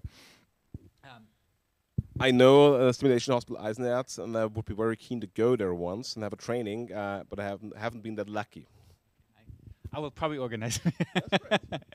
okay, I think uh, we have a few more questions and a few more minutes, maybe that we can use them for uh, some discussion. So, uh, again, maybe some information for you out there. Um, yes, this webinar is being recorded. Um, you will be able to see the recorded versions. We'll divide into different chunks uh, on the different topics. Uh, please, of course, uh, let others know. We think this is a very important topic. And um, yeah, maybe there's some more questions coming in. Yes, there are some more, uh, but as we're still want to through sonography, I finally want to direct one question to you, which is concerning uh, concerning sonography, and uh, basically it is whether you would uh, be able to recommend any portable uh, ultrasound device, um, especially for field work during war or in crisis. I think this is a really good question. Um, I'm I probably wouldn't recommend a certain brand here because I think the first of all the whole field is evolving so quickly and uh, the scanners are coming out. But maybe I'll just give you a little bit um, uh, thoughts. I mean, the first thing is the battery life, which is important. Because if you're out in the field, um, you don't have the chance to recharge the systems. And some of these systems, unfortunately, don't have an extremely long battery life. So it depends on where you're going to use it. If you are in some form of a hospital where you have access to energy, then um, you can use many of these devices. Um, some of them uh, transmit the ultrasound signal via Bluetooth or wireless to a device such as a mobile phone. Others have a connector to a, a tablet or so. So, uh, in principle, I would say it doesn't really make a much of a difference of which system you use, but definitely you should use a system which has a relatively long battery life if you're somewhere out in the field. Um, if you talk about the potential applications, yes, definitely it has a role. Probably not so much in the peracute situation where you have, uh, you know, a very critical situation where you need to, uh, obviously, for example, compress a vessel or an artery. This is not uh, the indication, but um, it does help you, especially in the second phase when you bring patients in where you want to make a little bit more diagnosis. So yes, uh, I am aware that some of the military personnel and some armies are already using this device, uh, and that uh, this is certainly something that I think has a, has a bright future. Um, there was another question I saw later, uh, so earlier, uh, with respect to how should you cover a probe um, if you are in the field. Um, to be honest, I would not be afraid, or I don't really think it is necessary to cover the probe at all, because if you're in an emergency situation, uh, you will probably not have a cover with you, and you will probably not be able to really work under sterile conditions anyway. If you want to clean it, I would say you can even clean it with normal water. As we heard, you might even want to use mineral water. If you have some antiseptic, it might harm a little bit, of course, the probe. There are certain uh, antiseptics you can use and which are recommended. You'd have to talk with the vendor of your system. But um, with respect to covers, I think that uh, this is probably in an emergency situation that something that you would probably not use unless you work in a controlled setting where you have condoms in place where you can put a gel inside and then the probe inside. So that would be my answer to this question. Um, Katrin, do you have anything to say? well, I have anything to say. Actually, um, not that much at this point anymore. Yeah.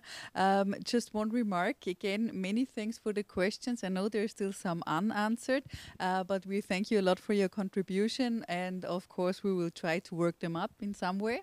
Yeah. Um, yes. I definitely want to thank all the speakers for participating.